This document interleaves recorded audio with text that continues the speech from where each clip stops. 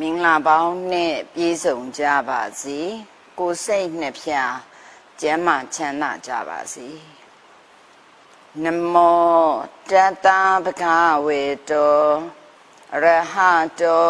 သမ္မာသမ္ဗုဒ္ဓတာနမောတတဗကဝေတောအရဟေတောသမ္မာသမ္ဗုဒ္ဓတာ နမောတတဗကဝေတောအရဟတောသမ္မာသမ္ဗုဒ္ဓတာ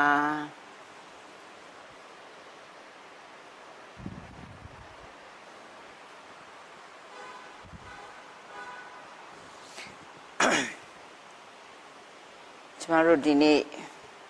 တုဒ္ဒဓမ္မ level 3ရဲ့ပြဋ္ဌာန်း တတိယမြောက်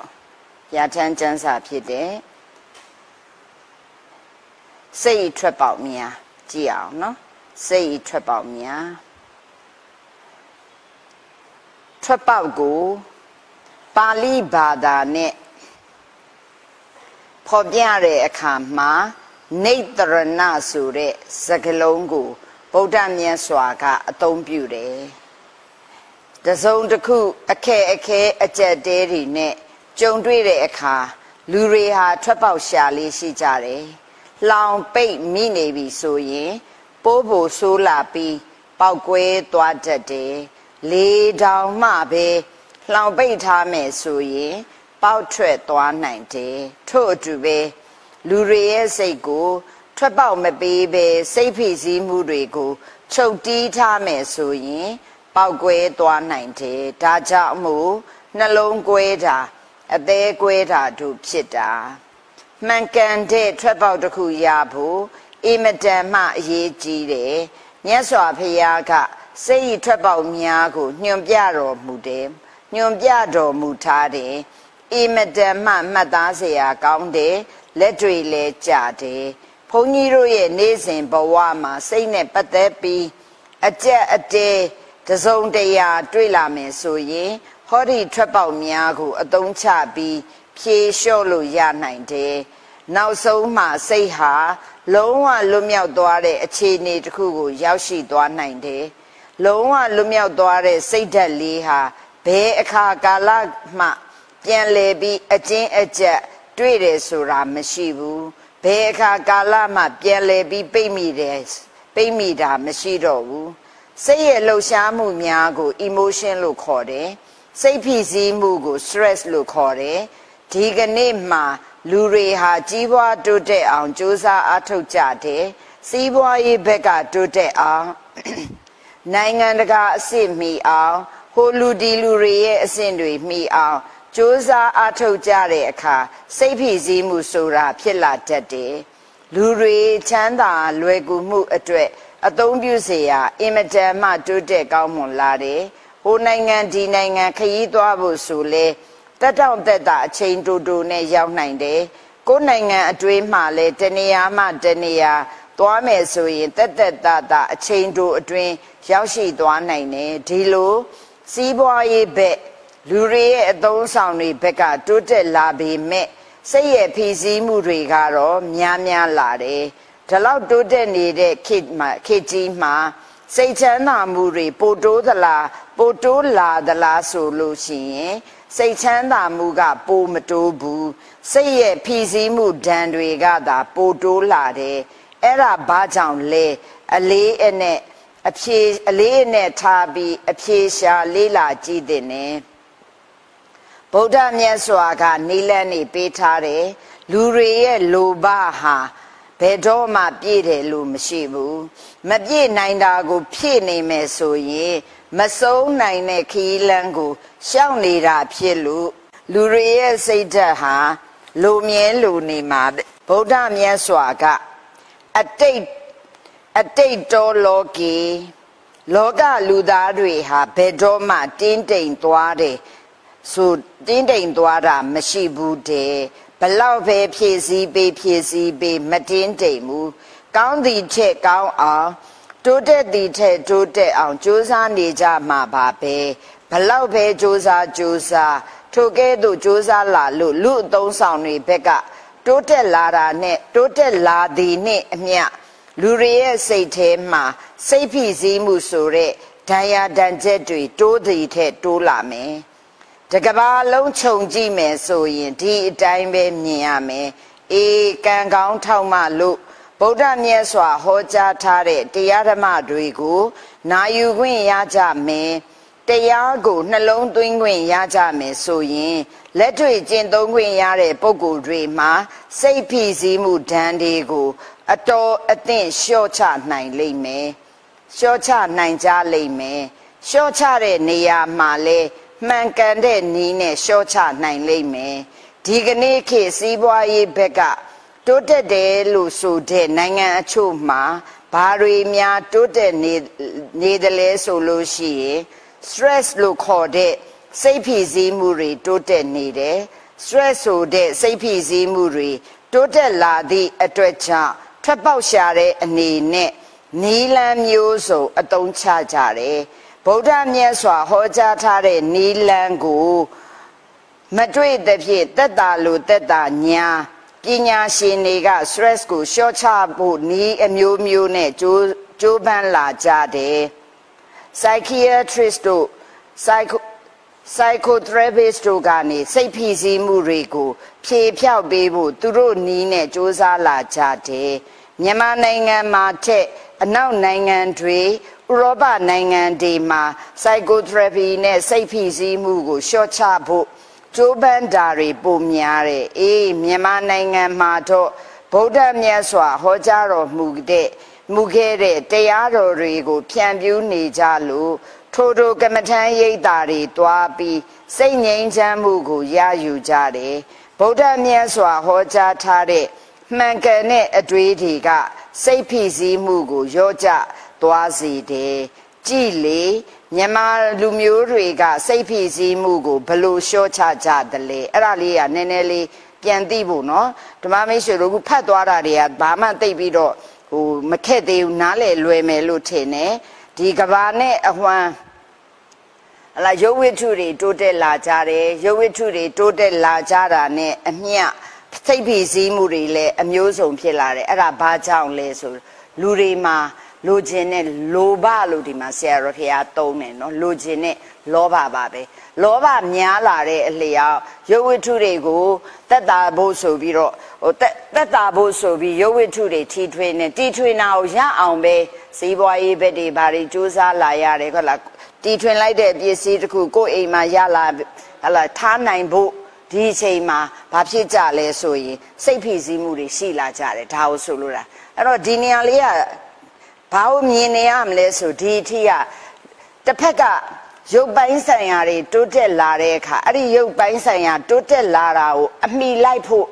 လူတိုင်းကစူးစမ်းရတယ်စူးစမ်းတဲ့အခါမှာစိတ်ဖိစီးမှုဆိုတဲ့ဆွဲစီပေါ်လာတယ်အဲ့တော့ပေါ်လာတဲ့နေရာမှာအရာရာပါပါနော်ကိုအိမ်နေမှာဘာတွေမှာဆိုလဲဒီတိုင်းပဲကျမတို့ရှေးတော့ကမြန်မာနိုင်ငံမှာဆိုရင်ဟိုဘာမှသိပ်ပြီးတော့ထူးထူးခြားခြားဟဲ့လားရုပ်ဝတ္ထုတွေလည်း မရှိကြအောင်เนาะမိတော့မှမရှိကြသေးတဲ့အချိန်မှာ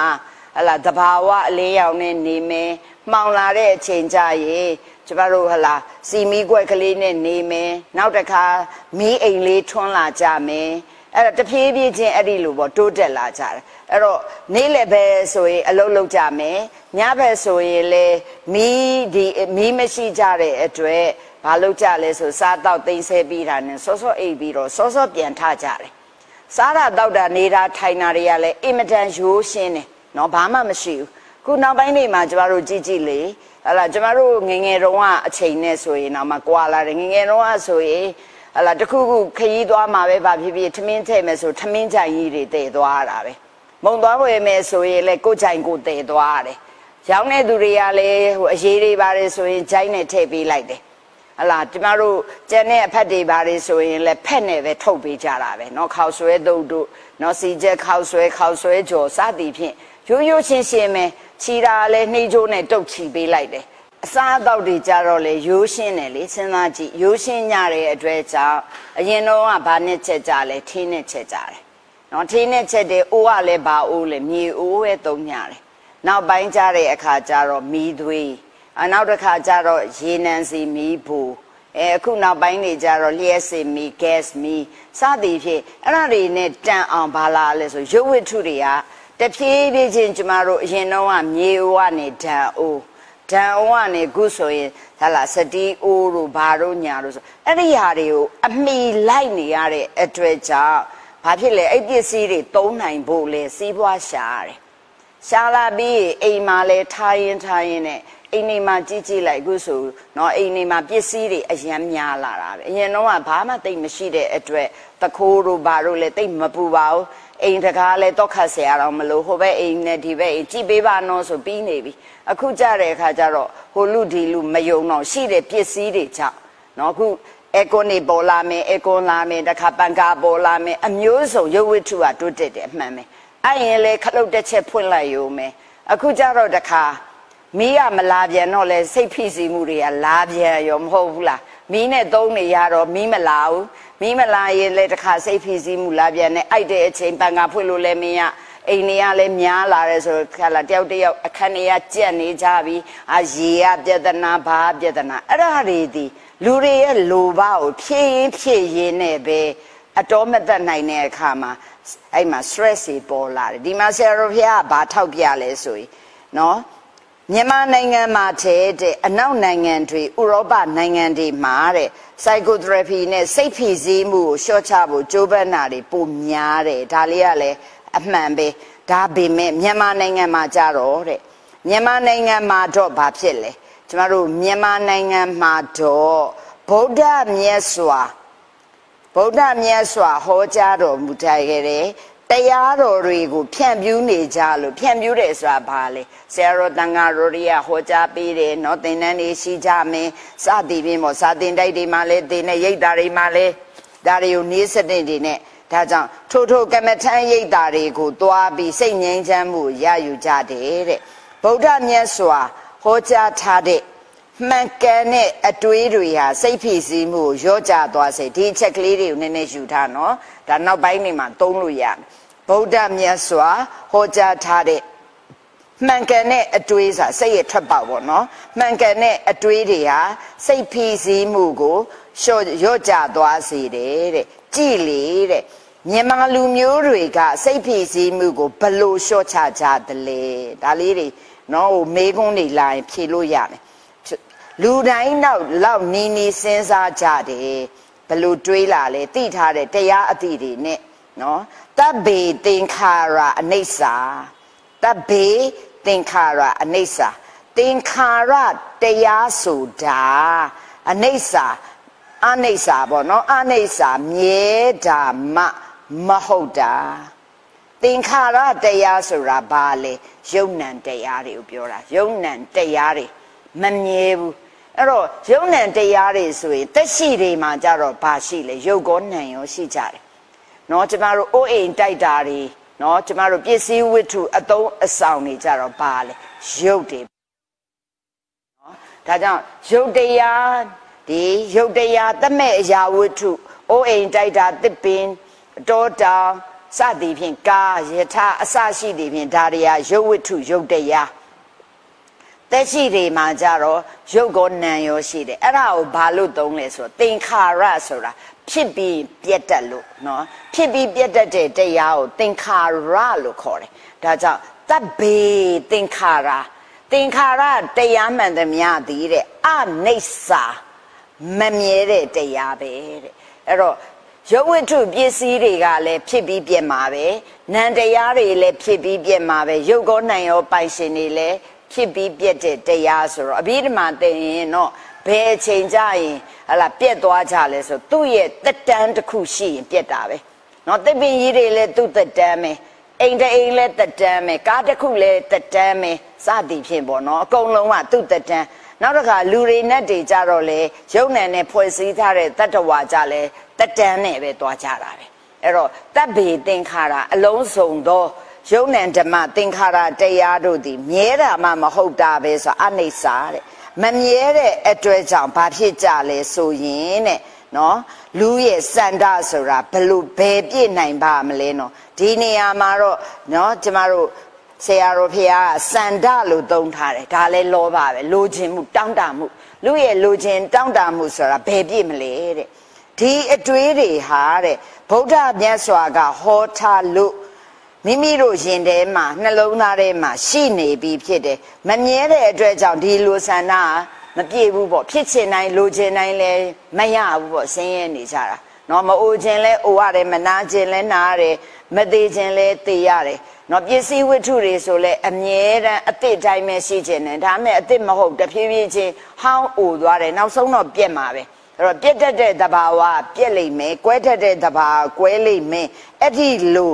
ဖះရဲ့အဆုံးအမတွေဒီမြန်မာလူမျိုးတွေရဲ့ရင်ထဲမှာတဲ့ဆရာတော်တန်ဃာတော်တွေရဲ့ကျေးဇူးကြောင့်ဒီအတိအရှိထားပြီးပြီတဲ့သင်္ခါရတရားဆိုတာမမြဲဘူးဒါကြောင့်လိုတဲ့တောင်းတနေတဲ့စန္ဒဆိုတာလေဘယ်ပြည့်မလဲဆိုတဲ့အတွေးရှိနေကြတဲ့အတွေ့ကြောင့်နဲ့ဒီအတွေးတွေကြောင့်လာစိတ်ဖိစီးမှုတွေကဘာဖြစ်လဲဆိုရင်ဒီမှာတွေ့လားစိတ်ဖိစီးမှုတွေက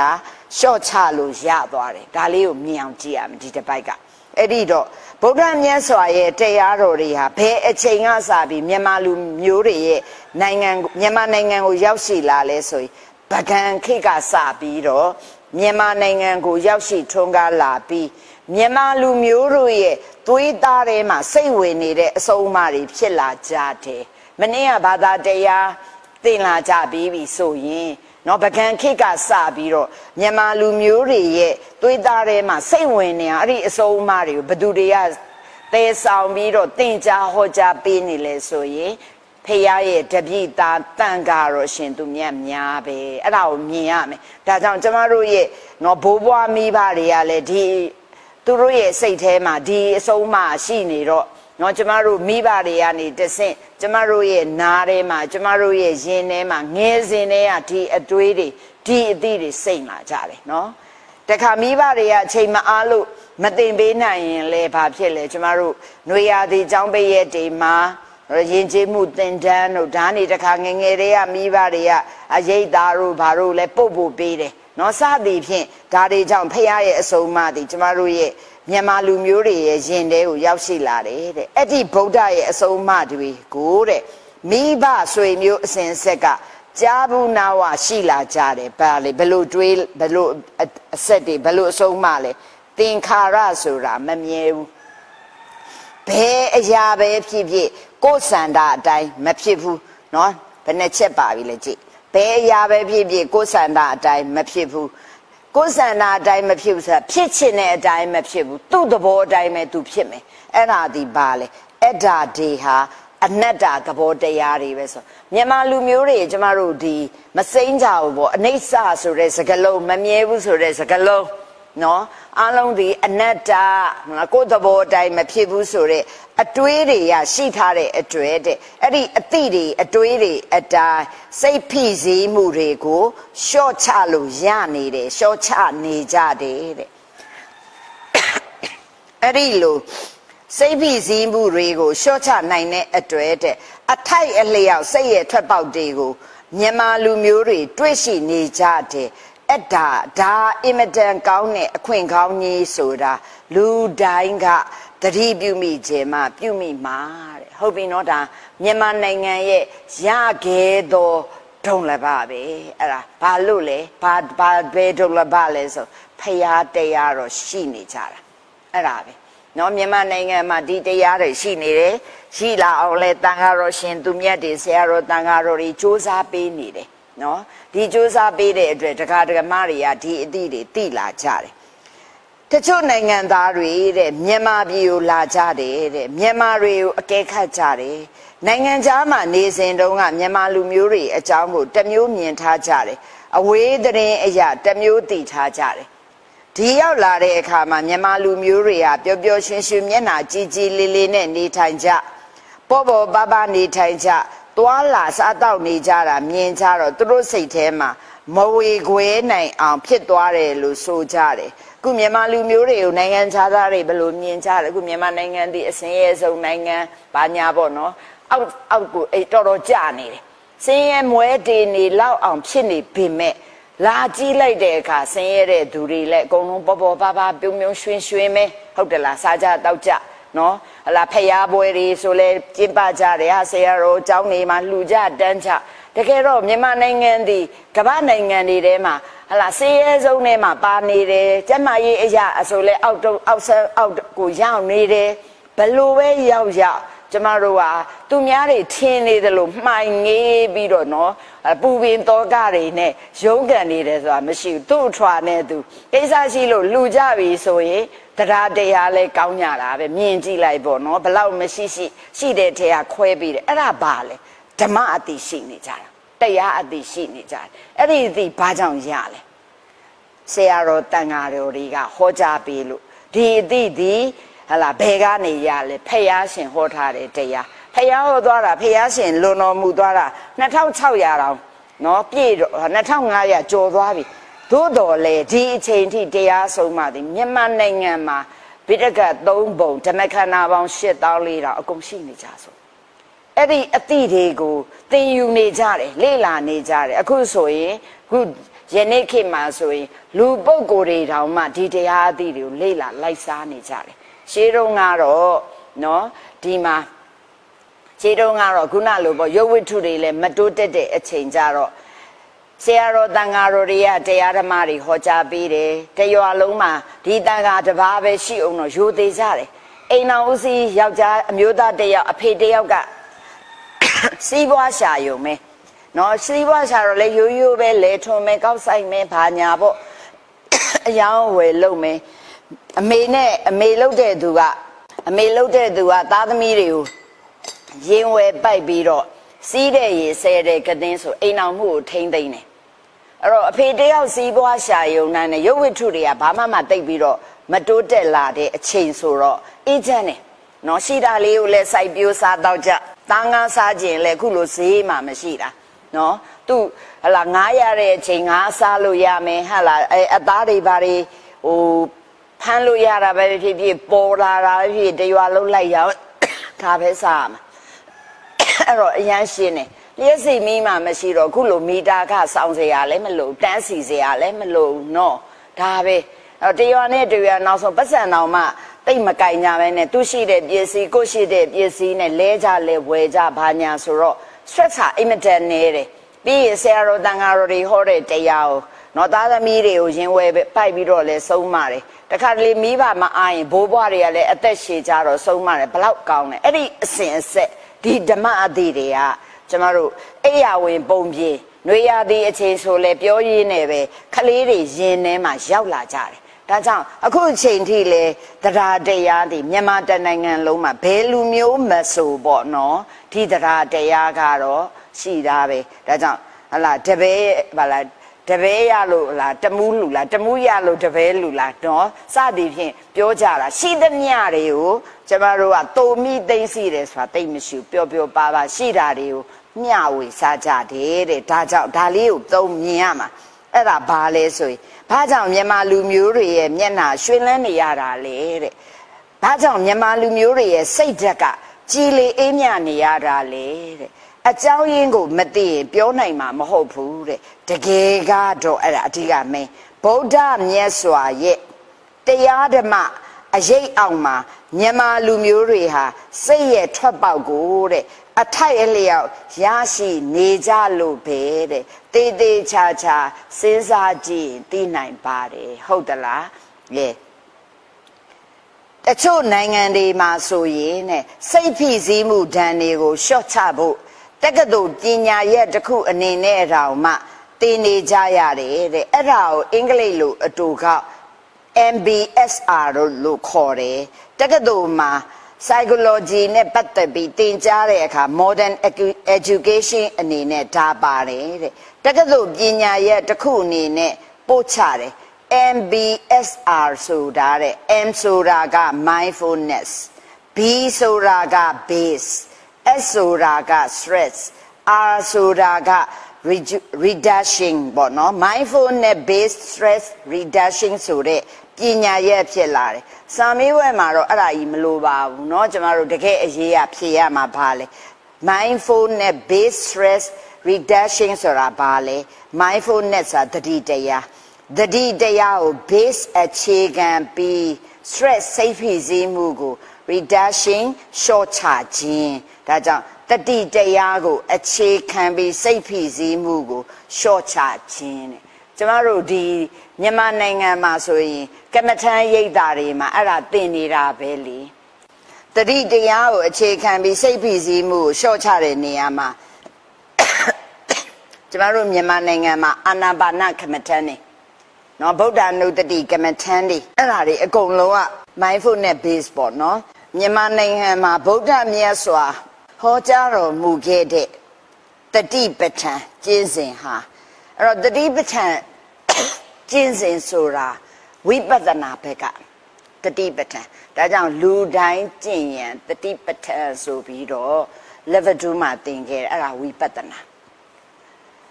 ဗုဒ္ဓနုတ္တိတို့ဓမ္မာနုတ္တိတို့အာနာပါနတတိယသမထကမ္မထံအဲ့ဒါသဘောပေါက်နေရမယ်အဲ့ဒီသမထကမ္မထံကို အခြေခံပြီးရင်ဘာကိုကူးကြလဲဝိပဿနာကိုကူးကြတာပဲ အရင်ဆုံးအာနာပါနနဲ့ကျမတို့တမာတိထူတာတမာတိရလာပြီးပြီဆိုရင်ကျမတို့ကဘာလုပ်လဲဆရာတော်တန်ဃာတော်တွေကဝိပဿနာပဲကူးခိုင်းတာပဲအဲ့ဒီမှာနော်သူတို့ရှုနေရတဲ့အာနာပါနကနေပြီးတော့ဝိပဿနာကူးသွားတဲ့ယုတ်နဲ့နံကိုရှုလာတဲ့စိတ်တွေရှုမယ်နံတွေဟလားစေယုတ်တွေကိုရှုလာမယ်အဲ့ဒါဒီကာယ ानु ပတနာတတိပဋ္ဌာန်ပဲတို့နော်ကျေးဇူးတော်ရှင်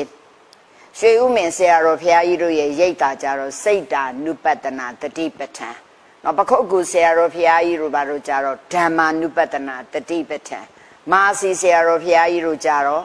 ကာယ ानु ပတနာတတိပဋ္ဌာန်ဖောင်းပိန်တို့ဘာတို့ယူသွားတာအဲ့ဒါတွေအကုန်လုံးဒီတတိကိုအခြေခံထားပြီးတော့စိတ်ရဲ့ဖြီးစည်းမှု stress ကြီးလျှော့ချတယ်တမထဘက်ကလျှော့တယ်ပြီးရင်ဝိပဿနာဘက်ကလျှော့တယ် အဲ့တော့တတိထားပြီးတော့ကိုယ့်ရဲ့ခန္ဓာမှာနော်ကိုယ့်ရဲ့တတိလေးပေါ်အခြေခံပြီးတော့အာယုံတစ်ခုမှာစူးစိုက်ပြီးတော့သွားတာကြတော့တမထနဲ့ stress ကိုဆော့ရှော့နေတာပဲ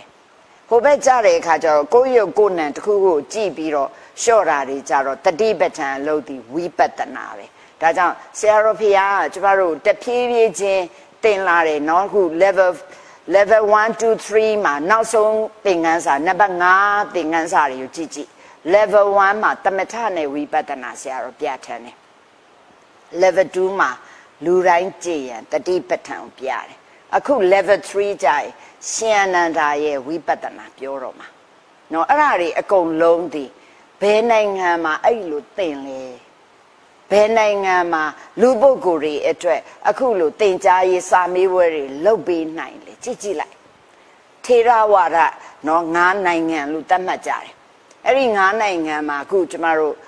ထိုင်းမှာရှိတယ်ပေါ့ထိုင်းရဲ့အခုကျမတို့တိရိလင်္ကာတိဟိုမာရဲ့မြန်မာနိုင်ငံရဲ့မှာထေအဲ့ဗုဒ္ဓအဆုံးအမတွေရှိနေကြသုံးမယ်ဖះပွင့်တဲ့အိန္ဒိယမှာမရှိတော့ဘူးเนาะကျမတို့ဟလာလာအိုတို့ကမ်ဘောဒီးယားတို့အရင်တော့ဗုဒ္ဓဘာသာနိုင်ငံတွေပဲမရှိတော့ဘူးဟလာဇေဒီပထိုးကြီးတွေပဲကြံရင်ခဲ့တယ်လူတွေရဲ့ရင်ထဲမှာအဆုံးမမရှိတော့အဲ့တော့တခါ တိရိလင်္ကာဆိုရက်နော်တီဟိုတို့နောက်တစ်ခါထိုင်းနိုင်ငံတို့ပေါ့နော်အဲ့ဒီထိုင်းနိုင်ငံတွေမှာဗုဒ္ဓရဲ့အဆုံးအမသည်ကျမတို့ဝီနီးတုတ်တဲ့အဘိဓမ္မာ၃ခုစလုံးမှာအဲ့ဒီနိုင်ငံတွေမှာအဘိဓမ္မာမရှိတော့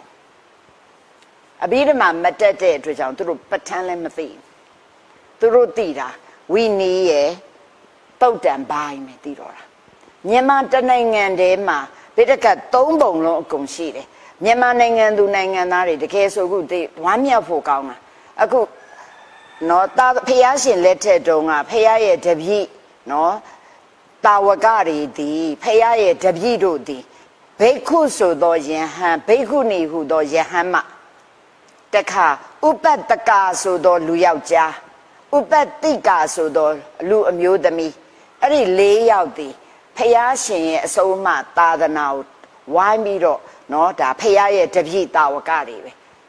သာသနာဝင်တဲ့ရှင်ရဟန်းများဖြစ်တဲ့ဘိက္ခုဘိက္ခုနီများကိုဥပတ္တကဥပတ္တိကဆိုတဲ့လူတကာတကမတွေကနေပြီးတော့ဝိုင်းဝန်းပြီးလိုအပ်တာတွေလှူဒန်းအဲ့ဒီသာသနာဝင်တဲ့ဘိက္ခုဘိက္ခုနီယဟန်ယဟန်မတွေကနေပြီးတော့ကျမတို့လူပုဂ္ဂိုလ်တွေကိုဖះအဆုံးမတွေသင်ကြားပေးပြတာပေး နော်အဲ့ဒီတာဝန်ထမ်းနေဒါကြောင့်ဂျေစုတော်ရှင်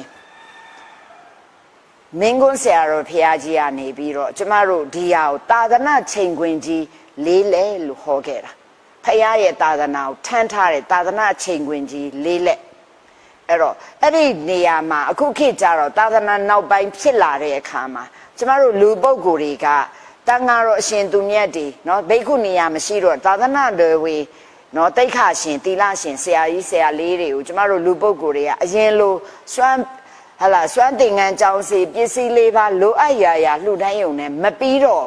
ဒီအစိုးအမတွေကိုလူပုဂ္ဂိုလ်တွေကိုယ်တိုင်နဲ့တင်ယူလာကြရတယ်။ဒါကြောင့်မြန်မာနိုင်ငံမှာဒီသာသနာအစိုးအမတွေအင်မတန်ထွန်းကားကြတယ်။ဓမ္မအသီးတွေရကြတယ်။နော်အဲ့ဒါကြောင့်မို့လို့တကယ်ဆိုရင် အင်မတန်လဲဝမ်းမြောက်ဖို့ကောင်းတယ်အဲ့ဒါလေးကိုဓမ္မမိတ်ဆွေတို့မြင်ရမယ်နော်အဲ့တော့ဒီမြန်မာနိုင်ငံမှာလူပုဂ္ဂိုလ်တွေတောင်မှအဘိဓမ္မာတက်လာကြတယ်တုတ်တန်နေလဲရွတ်တာမဟုတ်တော့နားလည်နေကြတယ်သူများနိုင်ငံတွေမှာဆိုရွတ်ဆိုလို့သာရွတ်ကြမယ်ညီညီညာညာလဲရှိကြမယ်အတန်တွဲတွေပါတွေလဲမှန်ကြမယ်နော်စီကန်းလဲရှိကြမယ်ဒါပေမဲ့လောက်ရတဲ့အလုပ်က ဒီလိုမျိုးမရှိဘူးဓမ္မမိတ်ဆွေမြတ်အဲ့ဒါမြန်မာနိုင်ငံရဲ့တန်ဖိုးအဲ့ဒီတန်ဖိုးဒီဘာကြောင့်ဘသူကြောင့်အဲ့လောက်ဖြစ်တာလဲဆရာတော်တန်ခါတော်ရဲ့အခန်းကဏ္ဍအင်မတန်ကျေးဇူးကြီးမားတာကိုပြောရမယ်အဲ့တော့ယနေ့မျက်မှောက်ခေတ်မှာကျမတို့မိဘများခေတ်နေတော့မှကျမတို့ခေတ်နေကွာသွားပြီကျမတို့မိဘများခေတ်တုန်းကကြတော့ခုလိုစာမေးပွဲတွေလူလူတွေအတွက်စာမေးပွဲတွေဆိုတာတိတ်မရှိဘူးကျမတို့ခေတ်မှာ လူတွေအတွက်ပြီးတော့မှစာမေးပွဲတွေပေါ်လာတယ်ဖြေကြပြီသင်ကြတယ်အခုကြတော့ကျေးဇူးတော်ရှင်ဒီပမောက္ခချုပ်ဆရာတော်ဖရာကြီးရဲ့ကျေးဇူးကြောင့်အခုမြန်မာနိုင်ငံမှာဒီ၃နှစ်အတွင်းမှာတုဒ္ဒဓမ္မနော်ဒီပလိုမာစာမေးပွဲတွေဝင်လာတော့သင်ကြကြကြအခုအယံဝမ်းသာဖို့ကောင်းပါတယ်နော်အဲ့ဒါဆရာတော်ဖရာရဲ့ကျေးဇူးတရားပဲဒါကြောင့်အခုကျမတို့ကိုယ်တိုင်လေဆရာတော်ဖရာရဲ့ကျေးဇူးကြောင့်ဒီတုဒ္ဒဓမ္မဒီပလိုမာဆိုင်ရာ ပြဋ္ဌာန်းစာအုပ်ကို15အုပ်ဖြစ်လာပြီပေါ့နော်15အုပ်မှာအခုကျမတို့တခုပဲကြံတော့တယ်ရှင်အနန္ဒာရဲ့ဝိပဿနာပဲကြံတော့တယ်နော်အဲ့ဒီဟာဆိုတော့ကျမတို့ဒီနေရာမှာ14အုပ်ဓမ္မအတိတွေအခု73အုပ်ပြီးသွားပြီ14အုပ်မြောက်ရောက်နေပြီအဲ့ဒီအတိတွေရလာပြီအဲ့ဒါတွေကိုကျမတို့တွေကတန်ဖိုးထကြရမယ်ဒါလေးစကချက်ပါเนาะပြောနေတာဒါကြောင့်ဒီနေရာမှာမြန်မာနိုင်ငံမှာဗုဒ္ဓမြတ်စွာဟောကြားထားတဲ့ တတိပဋ္ဌာန်ကျင့်စဉ်ဟာ mindfulness based ပေါ်တဲ့တတိတရားကိုအခြေခံပြီးစိတ်ဖြစ်စည်းတန်တွေကိုရှော့ချတာဖြစ်တယ်တဲ့ဒါကြောင့်မြန်မာလူမျိုးတွေဟာစိတ်ဆင်းရဲမှုဒဏ်ကိုကြားရှိမခံကြရဘူးတဲ့ထွက်ပေါက်ကလေးတွေရှိကြတယ်ပေါ့တဲ့ဆိုင်ရာဆိုင်ရာမှန်ကန်တဲ့ထွက်ပေါက်တွေကိုမြတ်စွာဘုရားဟောထားတာရှိတယ်အင်မတန်ကြီးမားတဲ့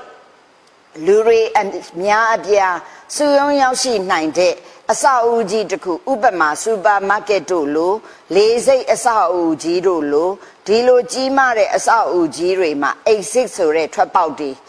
ဆိုတာတွေရှိကြတယ်လေရင်ပြန်နဲ့ခရီးသွားဖို့တဲ့ပုံကိုယ်တိုင်းတွေ့ဘူးကြပါလိမ့်မယ်မတော်တဆအန်ဒီရဲ့ကြုံလာရင်လေးမြန်တွေမှာထွက်ပေါက်86ဆိုတာပြထားတာတွေရှိကြတယ်စိတ်ဓာတ်ရေးရာနဲ့ပတ်သက်ရင်တဲ့စိတ်ဖိစီးမှုတွေမှာစင်ကျင်သုံးသက်မှု ဖြေပြောင်းနိုင်မှုဆိုတဲ့ထွက်ပေါက်မရဘူးဆိုရင်စိတ်ဖိစီးမှုများလာတတ်တယ်အဲ့ဒါလေးတတိတစ်ချက်မှတ်ရအောင်နော်စိတ်ဓာတ်ရေးရာနဲ့ပတ်သက်လာရင်စိတ်ဖိစီးမှုတွေမှာစင်ကျင်သုံးသပ်မှု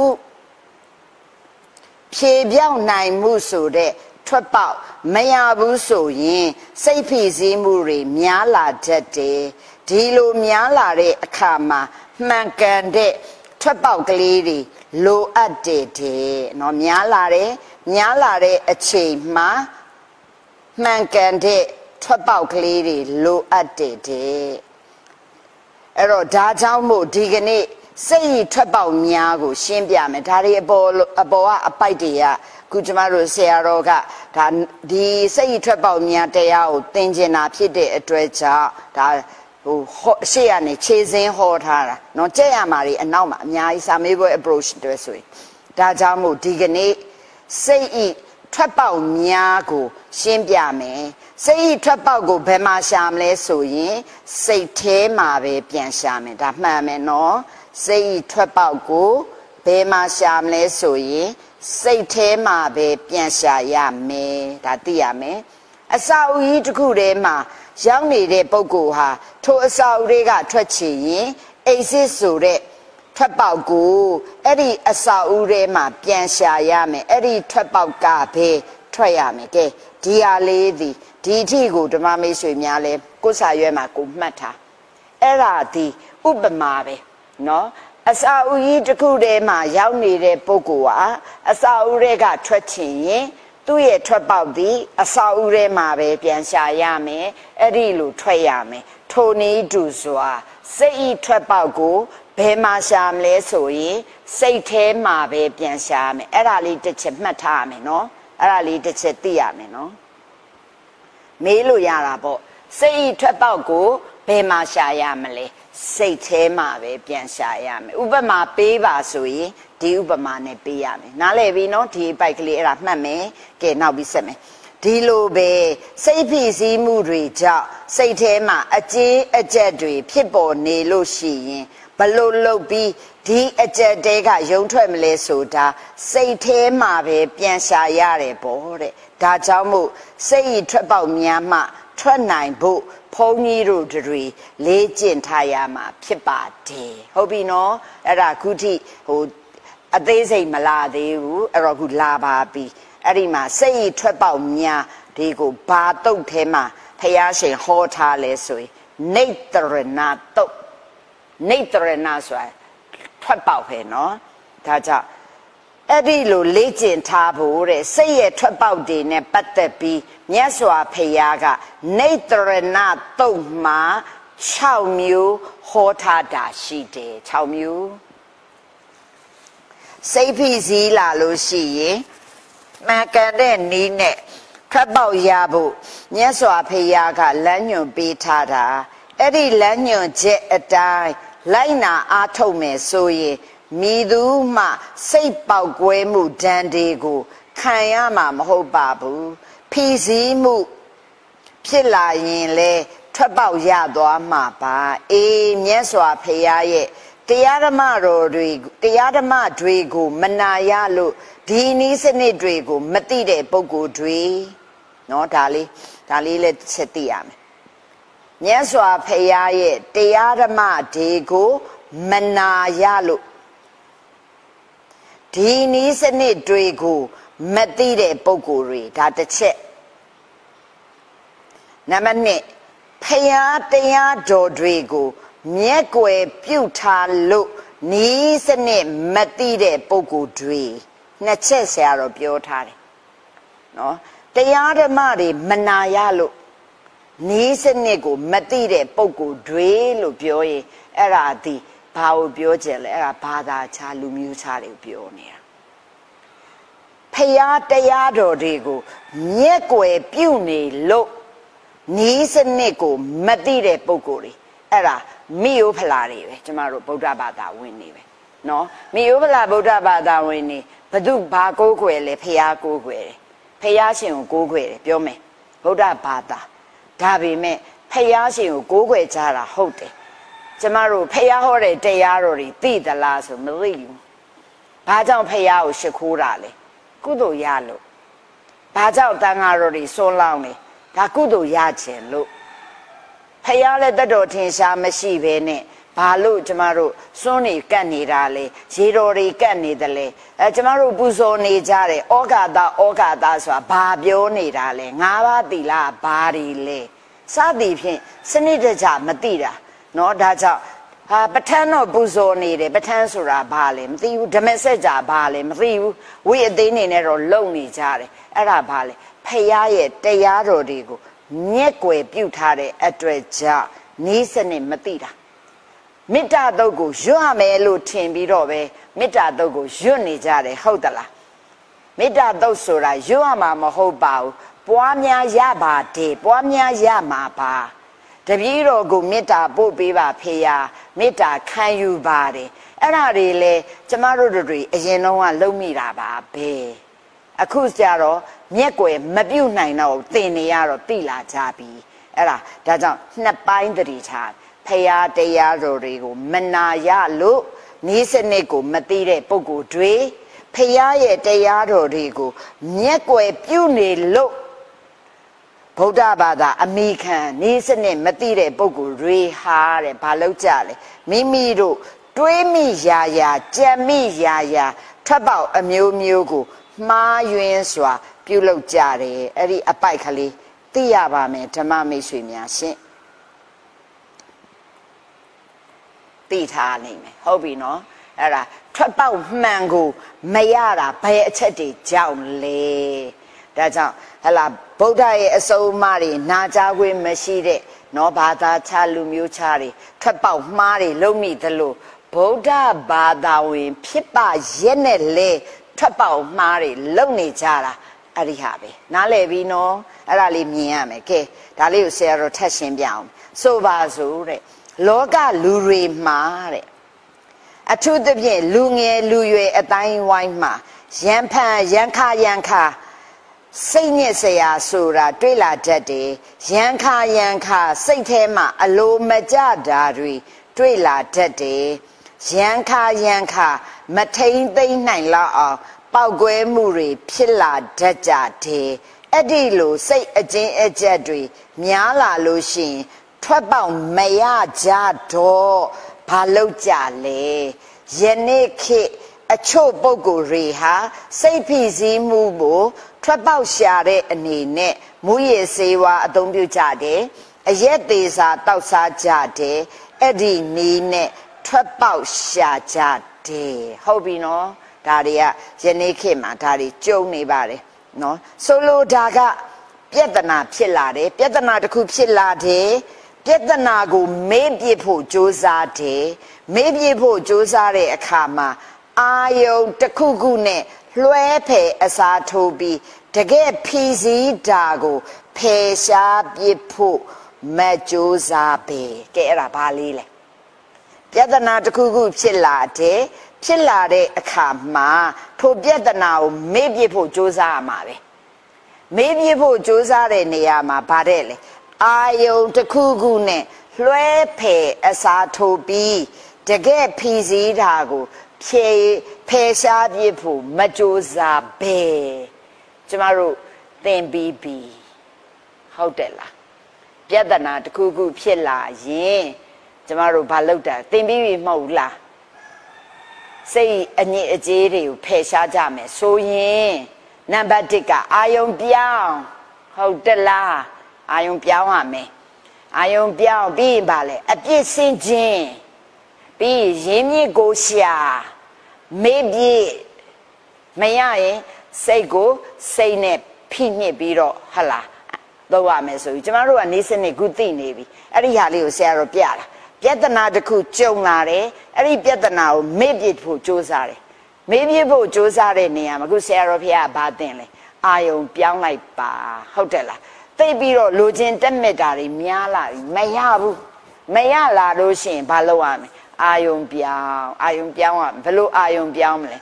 တက်ရှိတွေပေါ်မှာချစ်ခင်နှစ်သက်မှု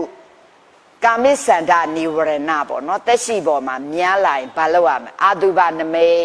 အာတုဘဘာဝနာပွားတမဲ့အရာဝတ္ထုတွေဆိုရင်ဘယ်လိုလုပ်ရမလဲအဲအခိုက်အတန့်ကလေးပဲနော်တာဝကာလိကအခိုက်အတန့်ကလေးပဲမမြဲဘူးအဲ့လိုစင်ကျင်ခိုင်းတယ်လေ အဲ့ဒါဘာလုပ်ခိုင်းတာလဲအာယုံပြောင်းခိုင်းတာမဟုတ်ဘူးလားနော်ဟုတ်တယ်နော်အေးမကျေနပ်ဘူးငါ့ကိုသူတို့အမျိုးမျိုးနှိပ်စက်နေကြတယ်ငါမကျေနပ်ဘူးနော်ငါမှဒေါသတွေဖြစ်နေတယ်နော်စိတ်ဆင်းရဲလိုက်တာကြဒေါသတွေ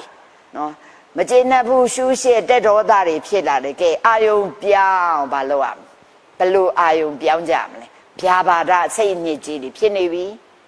ဘာအာယုံပြောင်းရမလဲ မေတ္တာနမိတ်မေတ္တာဘာဝနာပွားမေတ္တာဘာဝနာပွားဆိုတဲ့နေရာမှာကောင်းခွက်ကိုရှာကောင်းခွက်ကိုရှာပြီးမေတ္တာပွားမရဘူးမရရင်ဘာလုပ်ရမလဲကရုဏာပွားဟုတ်တယ်လားမဟုတ်ဘူးလားကိုယ်နှိမ့်ဆက်နေတဲ့သူသူဟာအဲကရုဏာမမရရင်ဘာပွားမလဲဘယ်နဲ့ကိုယ်နှိမ့်ဆက်တဲ့သူမုဒိတာမလားနိုင်ဘူးလေဥပိ္ပခာသွားရမှာလေ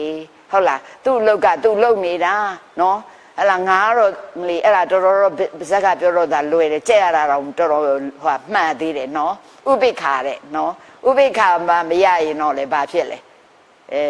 တပ်ပိတ္တာကမ္မတကလို့ထားမှာပေါ့ဟုတ်တယ်လား အဲအဲ့ဒါနဲ့မှဒေါသကိုထွက်ရမှာဆိုတကယ်တော့မလွယ်ပါဘူးနော်အဲ့ဒီလိုမဟုတ်ရင်အဲ့ဒီနည်းနဲ့မရပါဘူးဆရာတော်ဖရာရဲ့စူးစမ်းပါလေဖရာမရပါဘူးမေတ္တာဆိုတာနဲ့တော့မှတက်ကလန်သွားပါပြီဟုတ်တယ်လားကောင်းွယ်လဲရှာလို့မရဘူးသူ့ကောင်းွယ်ကို့ပေါ်မကောင်းတာတွေကတိတ်များနေတာ哦ကောင်းွယ်ကိုရှာလို့မရဆိုတကယ်စိတ်ထားကိုမဟုတ်သေးတာလေရှာကြည့်ရင်ကောင်းွယ်ကတော့ရှိပါတယ်နော်သူ့ကြောင့်ငါမှာတော့ဒီလိုတီးခံနိုင်တာတွေတိုးတက်လာတာ သူ့ကြောင့်ငါဒီလိုမျိုးတွေပို့လှုပ်လာတယ်ကောင်းွယ်ရှာလို့ရတာပဲမရဘူးဆိုရင်ဘာလို့อ่ะအပြစ်စင်ချင်းငါဒေါသထွက်နေနဲ့နော်တေသွားရင်ငါများငရဲကြမှာဟုတ်တယ်လားမလေးအဲ့ဒီကြရင်ငါဒီတဲ့တောင်ဆိုးမှာအဲအဲ့ဒီလိုမျိုးတွေနဲ့အပြစ်စင်ခြင်းမရရေးမြစ်ကိုရှာငါဘာလို့သွားမကျေနပ်ပါလိမ့်အဲ तू ကလည်းငါ့ကိုဘာလို့အဲ့လောက်လုပ်ပါလိမ့်အဲ့ဒါမှမရရင်တော့မေ့ပြစ်တယ်မေ့လို့မရလို့ဖြစ်နေတာနော်မေ့ပြစ်တာဘာလို့နောက်ဆုံးညမှာရောက်လာတာလဲမသိဘူးနော်အဲအဲ့ဒီလိုမျိုးလေးတွေနဲ့ဆိုတော့ ဒီနေရာမှာပြဿနာကိုမေ့ပြစ်ဖို့ဒါဆရာတော်ဖျားပြောနေတာငါကျမတို့တီးပြီးသားလို့သဘောပေါက်ရတော့မယ်ပြဿနာဖြစ်လာတယ်ထိုပြဿနာကိုမေ့ပြစ်ဖို့ကြိုးစားတယ်မေ့ပြစ်ဖို့ကြိုးစားတဲ့အခါမှာအာယုံတစ်ခုခုနဲ့လွဲဖယ်အစားထွက်အဲ့ဒီအာယုံဒီတကယ်တော့စိတ်ရထွက်ပေါက်ပဲအဲ့ဒီအာယုံတစ်ခုခုနဲ့အစားထိုးတဲ့နေရာမမှန်ကန်တဲ့အစားထိုးရင်မှားတော့မှာပေါ့နော် မကျေနပ်ဘူးလားခြားခြားခြားကွာဆိုရင်လုံးလို့လည်းမရဘူးလေနော်ကဲမရရင်ဘာဖြစ်လဲငါတို့ကားတင်ပြီးတော့ပြေးမှာပေါ့အဲ့ဒါလည်းမှားတာပဲဟုတ်တယ်လားအဲ့ဒီနီးနဲ့လုံးလို့မရဘလို့မှစူးစမ်းလို့မရခုနပြောသလိုအရက်တောက်တာပါတယ်လဲထွက်ပေါက်မှားတယ်ဒါကြောင့်အာယုံတစ်ခုခုနဲ့လွှဲဖယ်အစားထိုးပြီးတကယ်ဖြီးစည်းတာကိုဖယ်ရှားပစ်ဖို့မစူးစမ်းပဲမစူးစမ်းပဲနဲ့အလွယ်လောက်လိုက်တယ်တဲ့ဗာလဲခိတ္တခဏ မေ့သွားအခြားနည်းနဲ့ထွက်ပေါက်ရှာဒါကြောင့်ရုပ်ရှင်ဇလန်းနေမှာအခုဒါမျိုးတွေပြလွန်းအားကြီးတယ်နော်ခါတယ်ဘာတွေပြလဲဆိုရင်ခုနပြောသလိုမေ့ပြစ်ချင်တော့ဘာလုပ်လဲခိတ္တခဏလေးပဲမေ့မှာပေါ့အရက်တော့ပြတယ်နော်ခုကားတွေမှာကြည့်ကြည့်လေနော်ကိုရီးယားဇလန်းတွေကိုကြည့်မလားခုကျမတို့မြန်မာနိုင်ငံအဲ့ဒီဟာတွေကြတော့လိုက်ပြီးတော့ခစ်မိတယ်နော်ကိုရီးယားဇလန်းတွေမကဘူးခုမြန်မာနိုင်ငံကလည်းအရက်တောက်တယ်မျိုးသမီးတွေပါပါလာကြပြီ နော်အဲ့ဒီလိုမျိုးခိတခဏမေ့သွားတခြားနီးလဲနဲ့ထွက်ပေါက်ရှားကြတယ်တဲ့အဲ့ဒီထွက်ပေါက်ကတကယ်အစစ်အမှန်ထွက်ပေါက်မဟုတ်တဲ့အတွေ့တဲ့ဘာဖြစ်နိုင်လဲတကယ်အစစ်အမှန်ထွက်ပေါက်မဟုတ်တော့ဘာဖြစ်နိုင်သနည်းတကယ်အစစ်အမှန်ထွက်ပေါက်မဟုတ်သည့်အတွေ့ပြဿနာတဲမှာပဲပြန်လဲဝဲလေလာတယ်တဲ့တကယ်ငြိမ်းချမ်းတဲ့အပြင်ဘက်ကိုရောက်မသွားပဲ အတွင်းထဲမှာတဝဲလေလေနဲ့ထွက်ပေါက်ရှာရင်ပဲဒုက္ခရောက်သွားကြတယ်အကျဉ်းအကျက်တွေပိုပိုများလာတယ်ထွက်ပေါက်မှရင်ပြဿနာတစ်ခုကနေနှစ်ခုသုံးခုရန်နေဖြစ်ကြဘာတွေဖြစ်ကြကွဲကြပြဲကြဒါတွေဖြစ်တာပဲပေါ့ပြဿနာတစ်ခုကနေနှစ်ခုသုံးခုဖြစ်လာတယ်နောက်ဆုံးမကျေနပ်ရင်ဟလာတက်ကြဖြတ်ကြတွေနဲ့နောက်ဆုံးထောင်နေကြဘာတွေကြနဲ့သွားကြတာအဲ့ဒီတော့ ဖြစ်လာတဲ့အဓိထွက်ပေါက်ကိုမှန်မှန်ကန်ကန်မရှာနိုင်ဘူးဆိုရင်ဒီလိုပဲပြဿနာတက်နေမယ်ဒီချက်ကလေးတွေတတိထားကြရမှာနော်ဒီသင်္ကန်းစာလေကျမတို့အတွက်တကယ်လိုအပ်တယ်နော်ကျမတို့တကယ်လိုအပ်တယ်ဘာလို့ကျမတို့မှာဟလာစိတ်ဖိစီးမှုတွေရှိကြတာပဲခုဆရာတော်ဖေကအဲ့စိတ်ဖိစီးမှုပြတဲ့ထွက်ပေါက်ကလေအရန်ကောင်းတယ်တမထနီးထွက်ပေါက်ကဝိပဿနာနီးထွက်ပေါက်ကတိတ်ကောင်းတာပဲ နော်အဲ့ဒါနဲ့ကိုယ့်ဘဝမှာ life မှာတော်တော်သုံးလို့တဲ့သွားလိမ့်မယ်ဘာသာတရားကိုလိုက်နာကျင့်သုံးခြင်းရဲ့ရည်ရွယ်ချက်ကြတော့သူများလာမေးရင်လည်းဖြေရမယ်ငါတို့ဘာဘာလန်းချောင်းကိုရှောက်နေတာလဲဆိုတာလည်းသိဖို့အဲ့ဒီအသိကိုပေးလိမ့်မယ်အခုဒီဟာကြတော့ကျမတို့လက်တွေ့မှာသုံးရမှာလေစိတ်အညစ်အကြေးဖယ်ရှားတာလည်းကောင်းတာပဲဟုတ်တယ်မဟုတ်ဘူးလားဘယ်ဟာဆိုဘယ်ဟာဖြစ်ရမယ်ဆိုအဲ့ဒါမျိုးသိရမယ်ကဲအခုဒါလောကမှာဖြစ်နေတတ်တဲ့ဟာလူတယောက်ကကွန်းဆတတ်တဲ့အလေးအကျင့်လုပ်လို့တဲ့ကွန်းဆွဲသွားတယ် ကွန်းဆွဲသွားတာကိုဘာနဲ့ဖြတ်မလဲလို့စဉ်းစားတယ်အဲ့ဒါဘာလဲထွက်ပေါက်ရှာလိုက်တာသူကကွန်းကိုအလွယ်တကူမဖြတ်နိုင်ဘူးမဖြတ်နိုင်တဲ့အတွက်ဘာနဲ့အစားထိုးလဲစလိတ်နဲ့အစားထိုးတယ်ကွန်းဖြတ်ချင်လို့စလိတ်နဲ့အစားထိုးတဲ့အခါကွန်းကလည်းဆွဲတတ်တယ်လို့စလိတ်ကရောဆွဲတတ်တာ哦သူဒါကြောင့်တကယ်တော့ဆွဲတတ်တာတစ်ခုကိုဖြတ်ချင်ရင်မဆွဲတဲ့အရာနဲ့သွားမှာဟုတ်တယ်လားဆွဲတယ်ဆိုတာ ဘာလို့ဆွဲတာလဲကောင်းလို့ဆွဲနေတာပေါ့နော်ကွန်းစားတယ်ဆိုတော့ဘာလဲကွန်းစားတယ်ဆိုတာဘာအာယုံလဲရူပါယုံလားတတ္ထာယုံလားကန္တာယုံလားရတယုံလားဖွတ်တတ်ပါယုံလားဓမ္မယုံလားကွန်းစားလားရတယုံပေါ့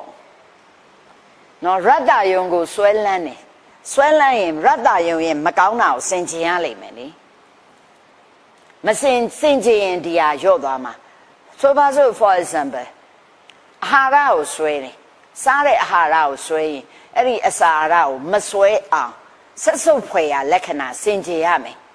ကျမတို့အဘိဓမ္မာမှာအာဟာရိပฏิကူလတင်ညာဆိုတာဒါပဲနော်ဒီအစာတစ်ခုကိုရဖို့ဘလောက်တောင်ဟလာရှာဖွေရလဲတွာလာလှုပ်ရှားရတယ်လေနောက်ဆုံး နော်ဒီဟာကိုရလာပြီဘလို့ခုခတ်ပြင်ဆင်ရလဲနောက်ဘလို့ဝါစားပြီလဲစားရင်ဘလောက်အထိဟလာပါဇက်သေးကိုလက်နဲ့မစားခင်လက်နဲ့ဘလို့နေပြီလဲညွန်စရာစဖြစ်ပြီဟိုမှာဒုက္ခပြီးရင်လက်နဲ့နေလိုက်ပြီဇွန်းနဲ့နေလိုက်ပြီနေပြီးသားကိုပါဇက်သေးထည့်ပြီတစ်ချက်နှစ်ချက်မဝါသေးငုံထားမယ်ပြန်ထုတ်ပြီးကိုယ့်အကိုလည်းမစားတော့သူများဆိုပိုးအောင်ဆိုးမယ်တစ်ချက်နှစ်ချက်ဝါပိုးဆိုးမယ်နော်လေချောင်းနဲ့အထိမြို့ချလိုက်ပြီးပိုးဆိုးမယ် နော်အစာအိမ်နဲ့ရောက်ပြန်ထွက်ယွန်းစရာအဲ့ဒီကနေအစင်စင်ဟိုးနောက်ဆုံးအစင်ဒီစင်ကြီးဒီအဟာရမှာတွေ့တာတဲ့ရတ္တဒနာမရှိတော့ဘူးနော်မွင်းငါပဲဖြစ်ဖြစ်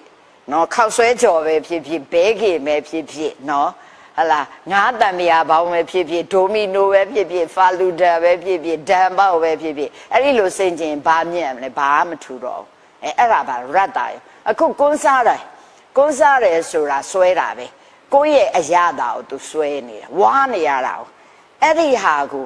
တကယ်ဆိုသူ့အပြစ်ကိုစင်ကျင်ရင် तू မစားတော့အပြစ်ကိုမစင်ကျင်လိုက်တဲ့ဘဲနဲ့နောက်တအာယုံနဲ့လောက်လိုက်တော့ဆက်လိတ်တောက်လိုက်တော့ဆက်လိတ်ကလည်းသူ့ရဲ့အရာတာသူ့ကြတော့သူ့ရဲ့အရာတာဘာလဲဆက်လိတ်ကပါဇက်ထဲမှာတော့စားလို့မှမရတာ तू ကသူ့ရဲ့ဟိုပါပေါ့တောက်ရှူတဲ့ဟာပေါ့နော်အတွေ့အထိတနည်းအားဖြင့်အနံ့ပေါ့နော်အနံ့ပေါ့နော် အနံ့အရတာပေါ့အနံ့ပါမှာပေါ့သူကခန္ဓာယုံပါမှာပေါ့နော်ပြီးရင်ဒီဟာမျိုးတွေပါညာအဲ့အနံ့လေးပေါ့အစုပ်သေးအထိရှူသွင်းနေကိုလည်းဆက်လိမ့်မတော့ဘူးတော့မသိဘူးပေါ့နော်အဲ့တော့ဆွဲမှာပဲအဲ့တော့ဆွဲเสียအာယုံတစ်ခုကိုနောက်ထပ်ဆွဲเสียအာယုံတစ်ခုနဲ့တွားတာဒါပေမဲ့ပိုကောင်းတဲ့အာယုံဆိုရင်တော့ဒီတအာယုံပဲတွားပြီးဟိုတအာယုံဖြတ်လို့ရတာပေါ့စဉ်းစားကြည့်ကျမတို့ဒီဟာလေးလဲစိတ်ရထွက်ပေါက်နေနဲ့ တနည်းအားဖြင့်ပြောမယ်ဒါတတိဒါလေးကိုဟိုစင်ကျင်ခိုင်းတာစင်ကျင်ကြည့်တာညီတော်မင်းတန်မင်းနံကိုညီတော်မင်းနံတာသူလက်ထက်မဲ့နေ့မှာသူ့ညီမအရင်နဲ့ပဲเนาะဇနပဒကလျာနေနဲ့လက်ထက်တယ်အဲ့တော့လက်ထက်တဲ့အခါမှာအဲ့ဒီနေ့မှာဖះခေါ်သွားတယ်เนาะဟိုကလေလက်ထက်တော့လက်ထက်မဲ့ဆိုတော့သူ့ဒီ လက်ထက်မဲ့အမျိုးသမီးကလည်းတလပပပြေပြေစင်စင်နဲ့မောင်တော်မြင်မြန်ပြန်ခဲ့တော့ဖះရှင်ကတပိတ်ထမ်းပြီးတော့တပိတ်ပေးလိုက်တော့ဖះရှင်ရဲ့တပိတ်ကိုယူလာတယ်ကျောင်းတော်အထိတည်လာကျောင်းတော်အထိလည်းမယူဘူးပြီးလဲပြီးတော့ရောက်လဲရောက်တော့ဘုံကြီးဝစ်ဆိုဝစ်လိုက်ရတယ်ဟိုကအာယုံကတိတ်ကောင်းနေတယ်မပျော်မပျော်တဲ့အခါဘာလုပ်လဲဖះရှင်ကသူ့ရဲ့ထွက်ပေါက်ကိုပြတာဖះရှင်ကဘာလုပ်လဲနတ်သမီးတွေရဲ့အစင်းကိုပြတယ် အဲ့တော့နတ်သမီးအစင်းကိုမပြခင်လမ်းမှာနတ်ပြည်ကိုတကိုးနဲ့ခေါ်သွားတာပေါ့နော်လမ်းမှာဘာပြလဲဆိုတင်းငုတ်တူမှာမြောက်ဟိုမှာကြီးထိုင်းနေတယ်အဲ့ဒီအချိန်မှာညီတော်မင်းနန္ဒာကိုပြောတယ်ပေါ့နော်ဇနပဒကလျာဏီနဲ့အဲ့ဒီမြောက်အိုမကြီးနဲ့ဘယ်ဟာလှလဲဆက်စက်တီနာတာပေါ့မခံနိုင်ဘူးနော်ဒီလောက်သူချောတာအောင်ငါသူယူမဲ့အမျိုးသမီးသူယူရမယ့်ဥစ္စာကိုမြောက်အိုမကြီးဆိုမကြိုက်ဘူးပြီးတဲ့အခါကျတော့ဘာလို့ ဒီတဲ့ကောင်းတဲ့နတ်သမီးအစင်လဲပြလိုက်ရောအဲ့ဒါဘာဖြစ်လဲခုနကဇနပဒကလျာဏီရဲ့အလှသည်မြောက်အိုမကြီးလိုပဲဆက်ဆုပ်เสียကောင်းသွားတယ်ဟုတ်တယ်နော်အဲအဲ့ဒီဟာထွက်ပေါက်တစ်ခုအဲ့တော့ဇနပဒကလျာဏီရဲ့အတုပဆိုတဲ့လက္ခဏာတကယ်ဆိုရင်ကာမိစ္ဆန္ဒနိယရဏရဲ့ထွက်ပေါက်ကအတုပနမိတ်အတုပဘာဝနာပွားရမှာလေဒီတရားမပွားနိုင်တော့ဒီတလတဲ့အစင်းကိုပြပြီးတော့မှ ဒီတွေ့တာမှုမှာပြလိုက်တော့ဇနပဒကလျာဏီရဲ့အလှသည်အတုပနမိတ်ပဲမြောက်အိုမာကြီးလို့ဖြစ်သွားတယ်အဲ့တော့နတ်သမီးလိုချင်လားလိုချင်နေဆိုရင်ဒီတရားအထုတ်ပါနဲ့ပြည်ကိုသွားလို့ရတယ်ဆိုတော့အဲ့ဒီတရားထူတော့တရားနောက်ဆုံးစောင့်သွားတဲ့အခါမှာဒါတွေပြုတ်သွားတယ်အဲ့ဒါဆေရိုဖီယာဟောတရားမှာပါတယ်နော်ဒီတွေ့တာနေတဲ့တဏှာကိုဖြုတ်ဖို့ဆိုရင်ဒီတဲ့ကောင်းတဲ့အာယုံတစ်ခုကိုပြပြီးတော့ဒီဟာရဲ့မကောင်းပုံပေါ်အောင်ပြရမှာဒါပဲ သဘောပေါက်တယ်နော်အဲ့ဒါဒီဟာရဲ့ဆက်ဆုပ်เสียကောင်းပုံဖယ်ရမယ်ဘာပေါ်အောင်လုပ်ရမလဲအတုပါနမိတ်အတုပါလက္ခဏာအခုတော့စလိတ်နဲ့ကွန်းဆိုတာကသူ့မတာကိုမတာပဲဟုတ်တယ်လား तू ကဒီသဘောဖြစ်နေတော့တဲ့ဒီနေရာမှာကွန်းဖြတ်ချင်လို့စလိတ်နဲ့အစားထိုးတဲ့အခါကွန်းဖြတ်လို့မရတဲ့အပြင် နောက်ထပ်ဘာဖြစ်ကြလဲစလိတ်ပါဆွဲသွားရောတဲ့ဒါကြောင့်ကွန်းရောစလိတ်ရောနှစ်ခုစလုံးဆွဲသွားတော့ထွက်ပေါက်ကဘလို့မှမရတော့ဒီလိုပဲတဲ့အရက်သေးစာတို့မူရည်စေးဝါတို့ ਨੇ အစားထိုးပြီးထွက်ပေါက်ရှာရင်ဒီတိုင်းပဲပေါ့ဒီလောကမှာစိတ်ညစ်စရာတွေများတော့အရက်တောက်တယ်အရက်တောက်ရင်းနဲ့အရက်ကအရက်ကိုဆွဲသွားတယ်မူရည်စေးသုံးတယ်အဲ့ဒါလည်းဒီတိုင်းပဲအဲ့တော့ပြဿနာတွေကပို့ပို့ပြီးတက်လာမယ်တဲ့ဒီဖြည့်ရှင်းနည်းတွေဟာ မှန်ကန်တဲ့ဖြည့်ရှင်းနည်းမဟုတ်ဘူးတဲ့ဒီထွက်ပေါက်ဟာမှန်ကန်တဲ့ထွက်ပေါက်မဟုတ်ဘူးတဲ့ဒါကြောင့်မြတ်စွာဘုရားဟောတဲ့ထွက်ပေါက်ကအလွန်ကိုတိမ်မွေ့မယ်တဲ့အလွန်တိမ်မွေ့ပြီးအလွန်ထိရောက်တဲ့ထွက်ပေါက်ပဲထွက်ပေါက်ကလေးကိုတိမ်တိမ်မွေ့မွေ့လေးပြသွားမှာတဲ့ဒါကြောင့်ထွက်ပေါက်ဘယ်နှခုပြမလဲဆို6ခုပြမယ်နော်6ခုပြမယ်အဲ့ဒါဒီခုနံပါတ်1ထွက်ပေါက်စပြီဒီကနေစကြက်ရတော့မှာ ခုနတွေကခြေစင်းပြီးနော်အနေနဲ့ရှေ့ကပြောလာတာကဲအမုန်းစိတ်ရဲ့ထွက်ပေါက်တဲ့ကောင်းပြီတဲ့ဘုန်းကြီးတို့တွေမှာရံဖန်ရံခါစိတ်ထဲမှာအလိုမကျမှုဆိုတာဖြစ်တယ်တဲ့ထိုအလိုမကျမှုဟာကြီးထွားလာရင်လို့ရှိရင်ပောက်ကွဲလာတယ်တဲ့ဒါကိုဘာလို့ခေါ်လဲဗျာဒေါသဗျာပါဒလို့ခေါ်တယ်ဒေါသဗျာပါဒ ဒေါသဗျာပါဒသည်စိတ်စိတ်ရဲ့အညစ်အကြေးထဲမှာပါတယ်နော်ဗျာပါဒနိဝရဏဒါလေးမြင်ရဒေါသဗျာပါဒလို့ခေါ်တယ်အဲ့ဒီဒေါအဲ့ဒီဒေါသဖြစ်လာပြီဆိုရင်ငြိမ်းချမ်းတဲ့စိတ်ကလေးကပျက်စီးလာတယ်ဒေါသဖြစ်လာပြီဆိုရင်လူမျက်နာကလည်းကြည်ကြည်လေးလေးမရှိတော့ဘူးပြုံးချိုခြင်းမရှိတော့ဘူး မျက်နာအနေထားပါပြောင်းလာတယ်ဒီလိုစိတ်ရဲ့အလိုမကျတဲ့ဗျာပါဒတို့ဒေါသတို့ဖြစ်လာလို့ရှိရင်ဒေါသရဲ့ထွက်ပေါက်ကိုရှားတာရှားတာတချို့ကကိုမကျေနပ်တဲ့ဟာကိုတခြားဟာနဲ့အစားထိုးတယ်သို့မဟုတ်မကျေနပ်တဲ့လူကိုတခုခုနဲ့အနိုင်ယူလိုက်တယ်အဲ့ဒီလိုအနိုင်ယူလိုက်တာထွက်ပေါက်မဟုတ်ဘူးသို့တော်လူတွေကအဲ့ဒါကိုပဲထွက်ပေါက်ထင်ပြီး အဲ့ဒီကနေထွက်ကြတယ်ထိုအခါပြဿနာပဲတက်လာတယ်ဟုတ်တယ်လားမကျေနပ်တဲ့အခါအိမ်မှာဟုတ်လားဇနီးခင်မွန်ချင်းမကျေနပ်ဘူးဆိုရန်နေဖြစ်ကြရိုက်ကြမောင်းကြအဲ့ဒါထွက်ပေါက်လို့ထင်တယ်ဒါမဟုတ်ဘူးပေါ့နော်ဒါလည်းသိရမယ်တချို့ကြတော့အဲ့ဒေါသကိုကိုမကျေနပ်တာကိုတခြားနဲ့အစားတချို့ဒေါသထွက်တဲ့အခါဘာလုပ်ကြလဲကိုကိုကိုတက်သေးတာတွေပါတွေအများကြီးလုပ်ကြတာတွေအများကြီးပဲเนาะဒါကြောင့်မြတ်စွာဘုရားကတဲ့စိတ်ထဲမှာအလိုမကျတဲ့ ဗျာပါဒပြည့်ထွက်ပေါက်အစစ်ကတဲ့မေတ္တာပါပဲဆိုစိတ်ရင်းကြီးကြီးဖယ်ရှားတဲ့နီးပါပဲဒါလေနော်ဒီမှာဗျာပါဒနိဝရဏကိုဖယ်ရှားမယ်ဆိုရင်ဘာနဲ့တူလဲနေအဲ့ဒီမှာစိတ်ရင်းကြီးဖယ်ရှားတဲ့နီးမှာဗျာပါဒနိဝရဏသည်နော်ဗျာပါဒနိဝရဏကိုဥပမာပေးတယ်ဘာနဲ့ဥပမာပေးလဲ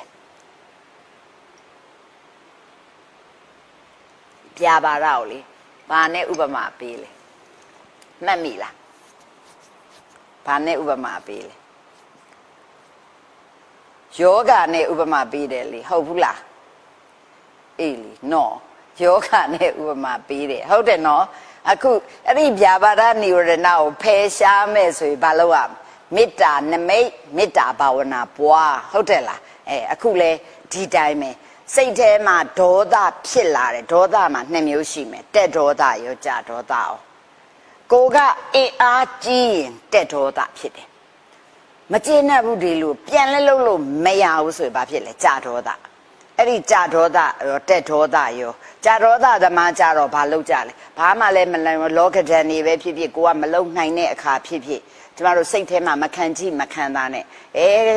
မကောင်းတော့ပါဘူးငါ တနေရာထွက်သွားမယ်ဒါမှမဟုတ်လို့ရှိရင်လေငါသေးတာမှအေးပါတယ်ဆိုလောက်ကြတာပဲနော်ဒီဘဝကိုသိရင်ပြီးသွားပဲလို့ထင်တယ်တက်ဒေါသသမားကတော့အဲ့ဒီပုဂ္ဂိုလ်ဘာဖြစ်လဲရိုက်တယ်မောင်းမယ်တတ်မယ်ဖြတ်မယ်ဒီဟာတွေပဲတွားကြတယ်အဲ့ဒီကြတော့ဘာဖြစ်လဲပြက်တနာကဆရာရခဏနာပြီးပြောတယ်သိရင်အေးတာတကယ်ဟုတ်လို့လားမအေးဘူး သေသွားတယ်ဆိုရင်နောက်ဘဝရောက်လဲပြဿနာအထီးတဲ့ဆိုးမှာပဲဟုတ်တယ်လားဒီတိုင်းပဲဒီမှာလက်တုံပြန်လိုက်မယ်ဘာညာဆိုရင်ကြတက်ဒေါသသမားကြလဲလုံမယ်ဆိုတတ်မယ်ဖြတ်မယ်ဆိုရင်အမှုအခင်းနေဖြစ်ထောင်တန်းကြိုးကျွန်းကြမှာပဲဒါဒေါသရဲ့ထွက်ပေါက်စစ်သည်ဘယ်အားဖြင့်မေတ္တာတဲ့ဒါပဲနော်ဒါကြောင့်တခါတလေကြရင်ဒေါသဘယ်ကနေဖြစ်တာလဲဆိုရင်ကာမိစန္ဒဆိုတဲ့လောဘနေတဆင့်ဒေါသဖြစ်တာအဲ့ဒါတတိထားရမယ် ဒေါသဖြစ်ခြင်းဒီလောဘကြောင့်ပဲအဲ့တော့ဆရာတော်ဘုရားဟောတဲ့တရားထဲမှာပါတယ်နော်ကျမတို့ဇနီးခင်မွန်နှစ်ယောက်ရှိကြတယ်တိတ်ချစ်ကြတာပဲတိတ်ချစ်ကြတယ်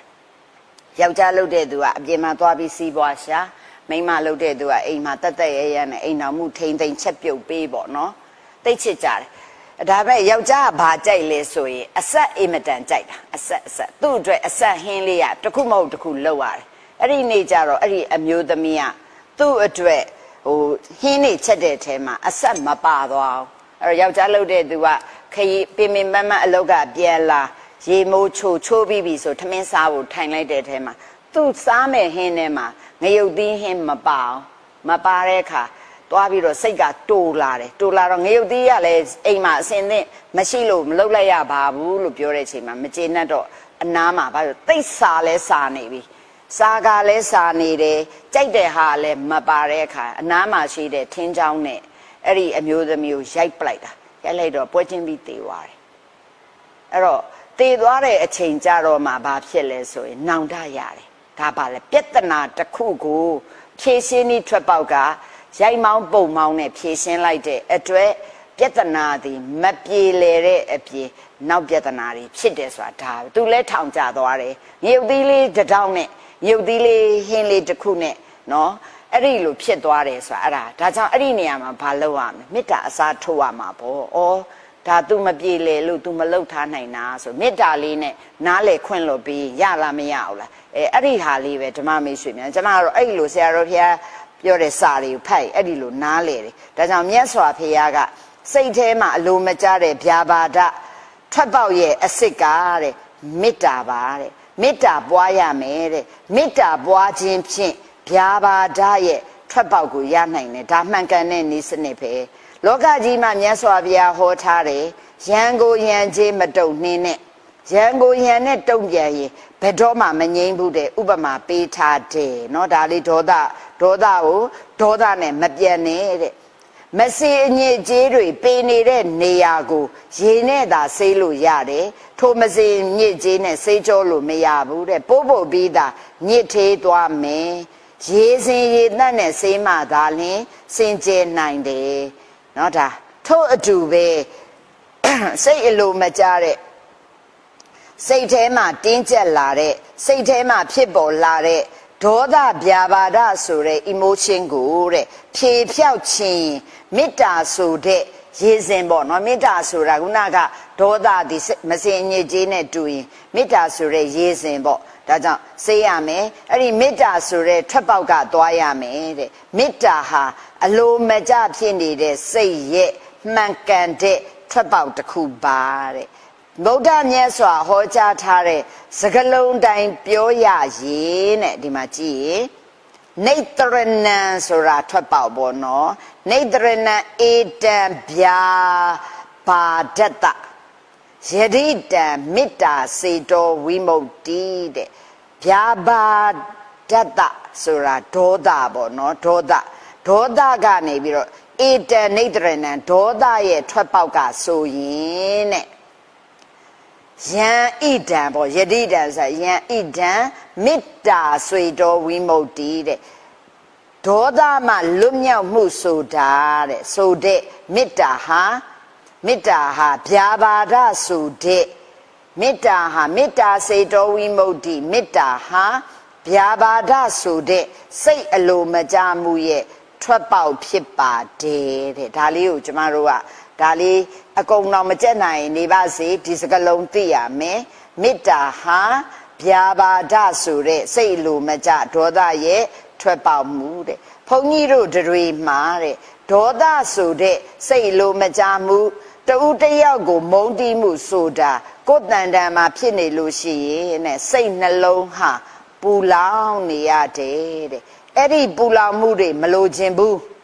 ထာဝရအေးချမ်းနာကိုလိုချင်နေဆိုရင်တဲ့မေတ္တာနဲ့အစားထိုးလိုက်ပါတဲ့မေတ္တာဟာတကယ်ထွက်ပေါက်ပါတဲ့မေတ္တာနဲ့အစားထိုးလိုက်လို့ရှိရင်တဲ့ဗျာပါဒကနှလုံးသားထဲမှာလုံးဝရက်တည်နိုင်စွမ်းမရှိဘူးတဲ့ဒါလေးသတိထားရမယ်နော်ဒါဒါဒီအပိုက်ကလေးမှတ်ထားရမယ်ဒါစကြည့်ရမယ်အပိုက်ကလေး ဒါကြောင့်မို့တဲ့ဒီနီးစနစ်ဟာလွန်ခဲ့တဲ့နှစ်ပေါင်း2500ကျော်ကမြတ်စွာဘုရားဟောကြားထားရထိုက်ကားခဲ့တဲ့လက်တွေ့ကျင့်သုံးရမယ်နီးစနစ်တစ်ခုဖြစ်ပါတယ်တဲ့အဲ့တော့မေတ္တာအကြောင်းသင်တော့မယ်မေတ္တာဆိုတဲ့နေရာမှာတဲ့မေတ္တာရဲ့စွမ်းစွမ်းရည်တတ္တိတွေဟာအစစ်စစ်ရှိတယ်ဆိုတာသတိထားဖို့လိုတယ်တဲ့အရက်ထဲမှာပြောနေတဲ့တမ္မာမေတ္တာ တူးမေတ္တာတူးမှဆိုတာက အခြေခံမေတ္တာလေးအဆင့်ပဲတဲ့ထိုအခြေခံမေတ္တာကလည်းလိုအပ်ပါတယ်အခြေခံမေတ္တာတဲ့ပို့ပြီးစွမ်းအားထက်တဲ့မေတ္တာဆိုတာလေးကြည့်ယူမှရတယ်အဲ့ဒါတစ်ချက်မှတ်မယ်စွမ်းအားထက်တဲ့မေတ္တာဆိုတာလေးကျင့်ယူမှရတယ်မလေးကျင့်လို့ရှိရင်အာမကောင်းနိုင်ဘူးလူခန္ဓာကိုယ်တန်ဆွမ်းဖို့အတွက် physical exercise တွေလုပ်ရတယ်အပြေးသမားတွေပြေးရတယ်ဘောလုံးသမားတွေလေ့ကျင့်ရတယ်ဘယ်ဟာပဲဖြစ်ဖြစ်လေ့ကျင့်ခန်းယူရတယ်ထို့အတူပဲမေတ္တာစွမ်းအားထက်လာအားလေ့ကျင့်ခန်းယူဖို့လိုတဲ့တဲ့မေတ္တာကိုပြိုးပြီးတဲ့အခါမေတ္တာကိုပို့ပြီးတော့ကိုယ်တန်တမ်းမှာခိုင်မာတည်တဲ့ခိုင်မာလာအောင် စွမ်းရည်တွေထက်တည်ထက်ထက်လာအောင်လေးကျင်ပြီးယူဖို့လိုအပ်တယ်ဒါလေးသိရမယ်အပိုက်ကလေးတွေမေတ္တာကြောင့်မေတ္တာနဲ့ပတ်သက်ပြီးလေးကျင်ဤအကျဉ်းလေးကိုပြောမယ်ဆိုရင်မေတ္တာဆိုတဲ့သဘောတရားကိုလေးကျင့်မယ်ဆိုရင်ဒါမေတ္တာနဲ့ပတ်သက်ပြီးလေးကျင့်ဤပေါ့ဒါခေါင်းစဉ်လေးနဲ့ပြောရင်နော်မေတ္တာဆိုတဲ့သဘောထားသဘောတရားကိုလေးကျင့်ပြီဆိုရင် ပထမလုပ်ရမှာကကိုယ်တန်တန်မှာမေတ္တာဆိုတဲ့အရာကို တွေ့အောင်ရှာဖို့လိုတယ်နော်မေတ္တာလေးကျင့်ခန်းနဲ့လုပ်မယ်ဆိုရင် ပထမလုပ်ရမှာကကိုယ်တန်တန်မှာမေတ္တာဆိုတဲ့အရာကို တွေးအောင်ရှာဖို့လိုတယ်တဏှာရာဂနဲ့ချစ်တဲ့အချစ်ကိုမေတ္တာလို့အရက်ထဲမှာခေါ်နေကြပေမဲ့ အဲ့ဒါလုံးအဲ့ဒါနဲ့လုံးဝမတူဘူးအဲ့ဒါနဲ့ရောသွေးရောထွေးသွားတတ်တယ်ဆိုလိုတာကရာဂနဲ့မေတ္တာဟာရာဂနဲ့မေတ္တာဟာစင်စင်တူတယ်တူတယောက်ကိုချစ်ခင်ပြီဆိုလို့ရှိရင် favor ပေးခြင်းလာတယ်မေတ္တာကလည်းတတ္တဝါတွေပေါ်မှာ favor ပေးတဲ့သဘောရှိတယ်ဒါရာဂနဲ့မေတ္တာအထူးလေးကိုပြောရမှာ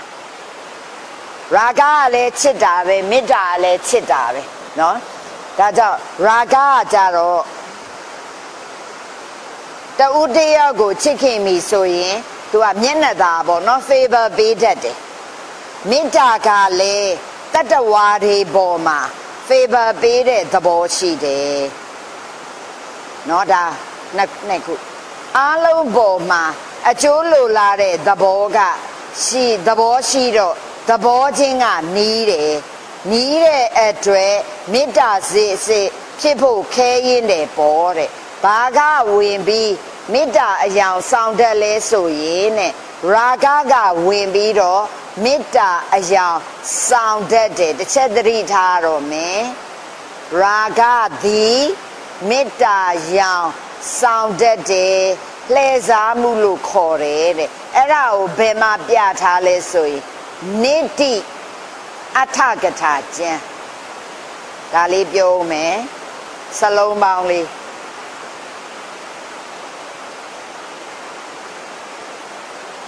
ဒါကိုအတန်ထွက်ရင်နေတိလို့လည်းဖတ်လို့မရဘူးနတ္တိလို့လည်းဖတ်လို့မရဘူးဖတ်ရင်နိတိလို့ဖတ်ဟုတ်ပြီနော်တဝေထိုးရေ ဒီတာဝင်းဘူးတက်တဝေလဲထိုးတတ်တမျိုးဖတ်ယူစတ်တတ်တာစလုံးမကိုဖြီလိုက်အပေါ်တလုံးသည်အသက်တင်ရမယ်ဒါကြောင့်ဖြီရင်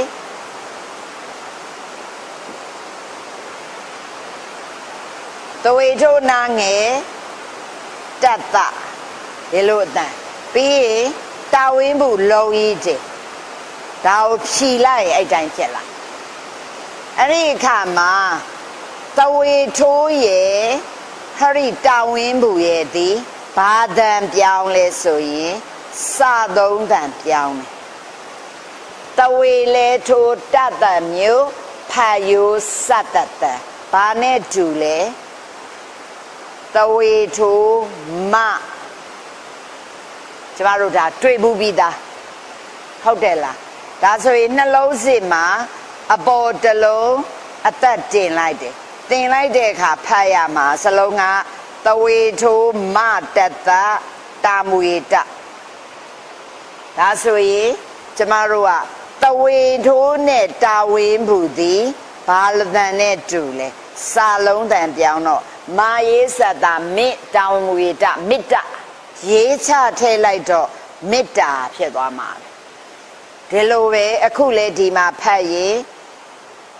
တဝေထိုးနတတဆိုရင်နိတာမွေလုံးတင်တီနိတိကြံဟုတ်ပြီနော်နိတိနိတိအထကထာကြံမှာနိတိအထကထာကြံမှာလှည့်စားမှုတွေနဲ့ပတ်သက်ပြီးရေးထားတာရှိတယ်အဲ့ဒါတွေကိုစူးစီးထားစူးစီးပြီးထားတာရှိတယ် မြန်မာနိုင်ငံမင်းတုံမင်းကြီးလက်ထက်မန္တလေးတောင်ရဲ့မြောက်ဖက်မှာရွှေကျင်တိုက်ဆိုတာရှိတယ်အဲ့ဒီရွှေကျင်တိုက်ကရွှေကျင်ဆရာတော်ကြီးရေးတဲ့စာအုပ်တုပ်ရှိတယ်ဝင်းဇနာဝင်းဇနာဒီပနီလှည့်စားမှုတွေကိုထင်ရှားပြတဲ့ကျမ်း အဲ့ဒီဝင်းဇနာဒီပနီမှာလှည့်စားမှုတွေကိုတရုပ်ဖော်ထားတယ်တဲ့အစဆုံးဘာနဲ့တရုပ်ဖော်ထားလဲဆိုရင်ရာဂောမေတ္တာယဝင်းစေတီအဲ့ဒီစကလုံးလေးပါတယ်ရာဂောမေတ္တာယဝင်းစေတီရာဂောတဏရာဂသည် မေတ္တာယမေတ္တာအယောင်ဆောင်ပြီးတော့ဝင်းစေတိလှည့်စားသွားတတ်တယ်တဏှာသည်မေတ္တာယောင်ဆောင်ပြီးတော့လှည့်စားသွားတတ်တယ်တဲ့ဒါကြောင့်မို့တဏှာနဲ့မေတ္တာကွဲအောင်အရင်ကြည့်ဖို့လိုပါတယ်ဆိုရင်အဲ့ဒီမှာတဏှာနဲ့မေတ္တာအထူးကိုဒီမှာဆက်ပြလိုက်မေတ္တာဆိုတာ သူ့အကျိုးကိုလိုလားတဲ့စိတ်ဓာတ်တဏှာဆိုတာတဏှာဆိုတာကိုယ်အကျိုးကိုဦးစားပေးတာတစ်ချက်ရပြီနော်နောက်တစ်ချက်သွားမယ်မေတ္တာဆိုတာဆွလွတ်နိုင်တယ်တွေ့တာမနေဘူး တဏှာဆိုတာမဆွလွတ်နိုင်ဘူးအင်မတန်မှကွဲပြားတယ်နှစ်ချက်ရသွားပြီတဏှာခြင်းနဲ့မေတ္တာခြင်းတဏှာခြင်းကပူလောင်နေမေတ္တာခြင်းကအေးမြတယ်ဒါတစ်ချက်မေတ္တာဆိုတာ အတွေ့အတာကင်းတယ်ကောင်းကျိုးချမ်းသာကိုလိုလားတဲ့စိတ်ပဲမေတ္တာဆိုတာသူ့အတွေ့မေတ္တာဆိုတာသူ့အတွေ့တဏှာဆိုတာကိုယ်အတွေ့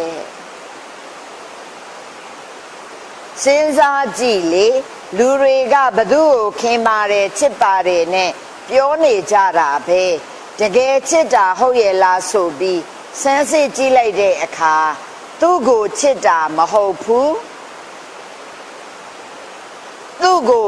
သူ့မြင်ရလို့ရှိရင်ကိုစိတ်ချမ်းသာတယ်ကိုထိုးစိတ်ချမ်းသာမှုလေးကိုချစ်တာနော်အဲ့ဒါကိုလူတွေမျက်စိလဲသွားကြတယ်စဉ်းစားကြည့်အမေကသားသမီးကိုချစ်တယ် အဖေကသားသမီးကိုချစ်တယ်ဒီလိုပြောကြတယ်ကဲအမေချစ်တဲ့သားသမီးအဖေချစ်တဲ့သားသမီးတွေကအမေစကားနားမထောင်ဘူးအဖေစကားနားမထောင်ဘူးနောက်ဆုံးကြတော့အမေဖေကချစ်နိုင်ပါဦးမလားအမေဖေကဒီသားလေးသမီးလေးကိုကြည့်ပြီးတော့သူ့ရဲ့စိတ်ကျေနပ်မှုလေးရနေတာ အဲ့ဒါကိုချစ်နေတာ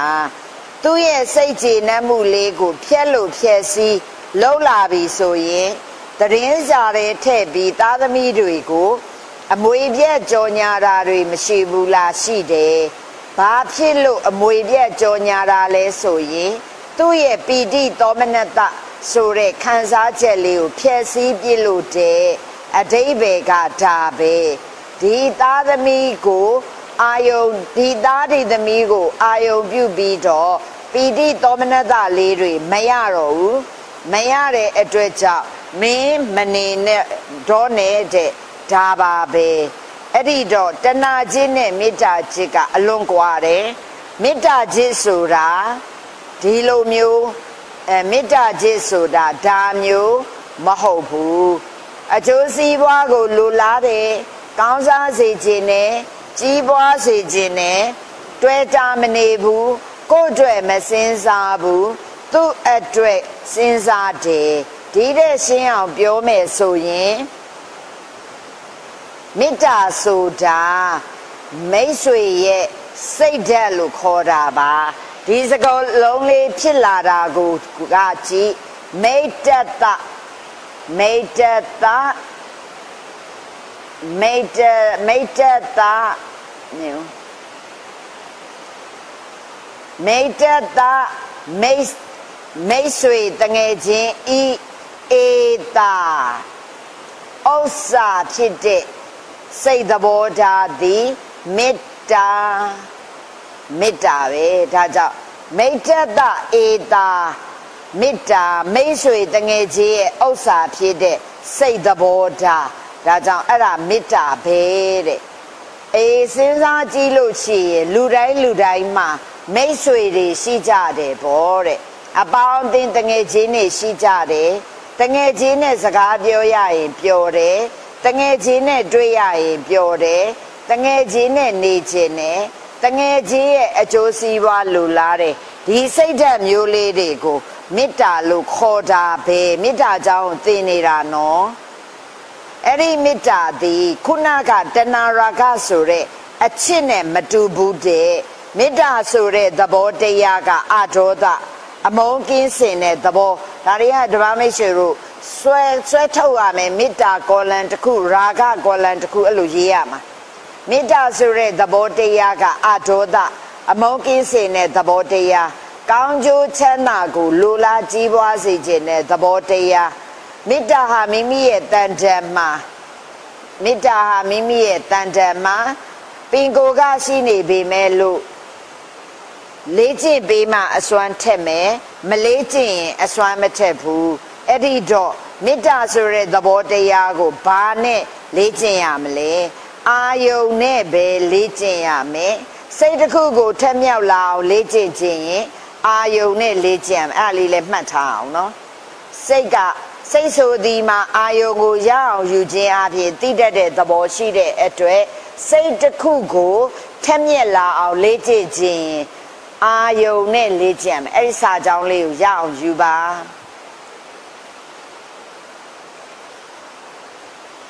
ကျမတို့စိတ်ကိုထက်မြက်ခြင်းတယ်ကဲဆိုပါစို့ရဲ့ဧဧကဂရာဆိုတဲ့ဇံရခြင်းတယ်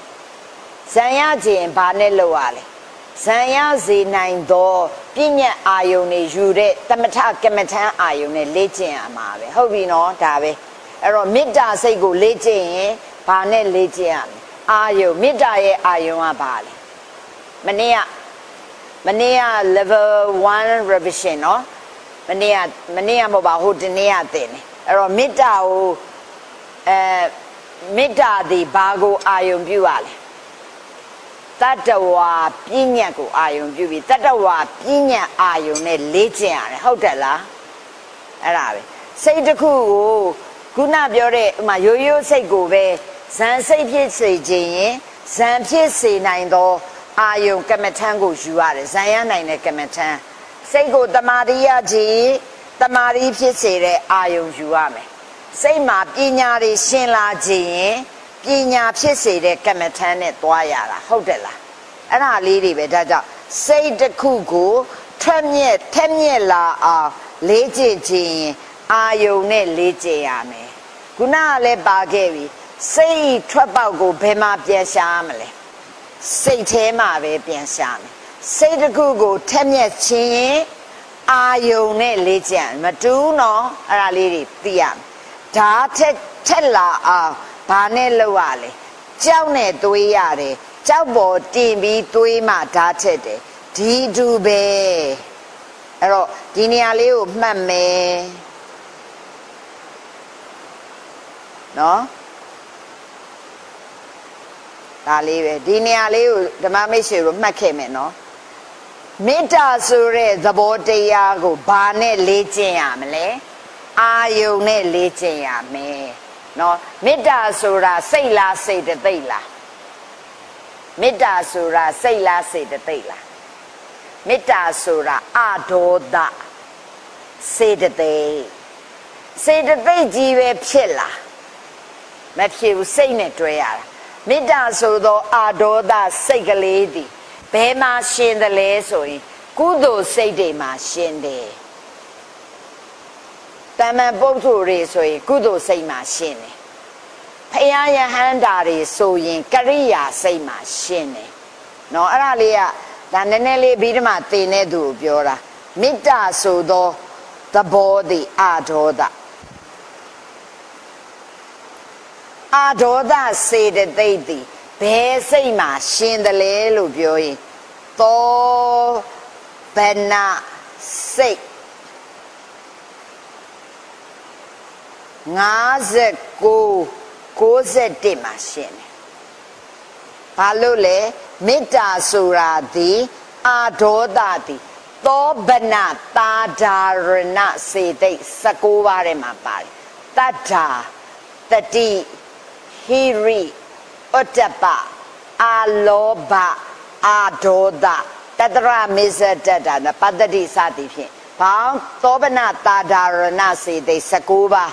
အဲ့ဒီ19ပါးသည်ဘာတွေလဲနည်းနည်းလေးပြောမလို့နော်အဲ့ဒီသောဗနာတာဒာရဏ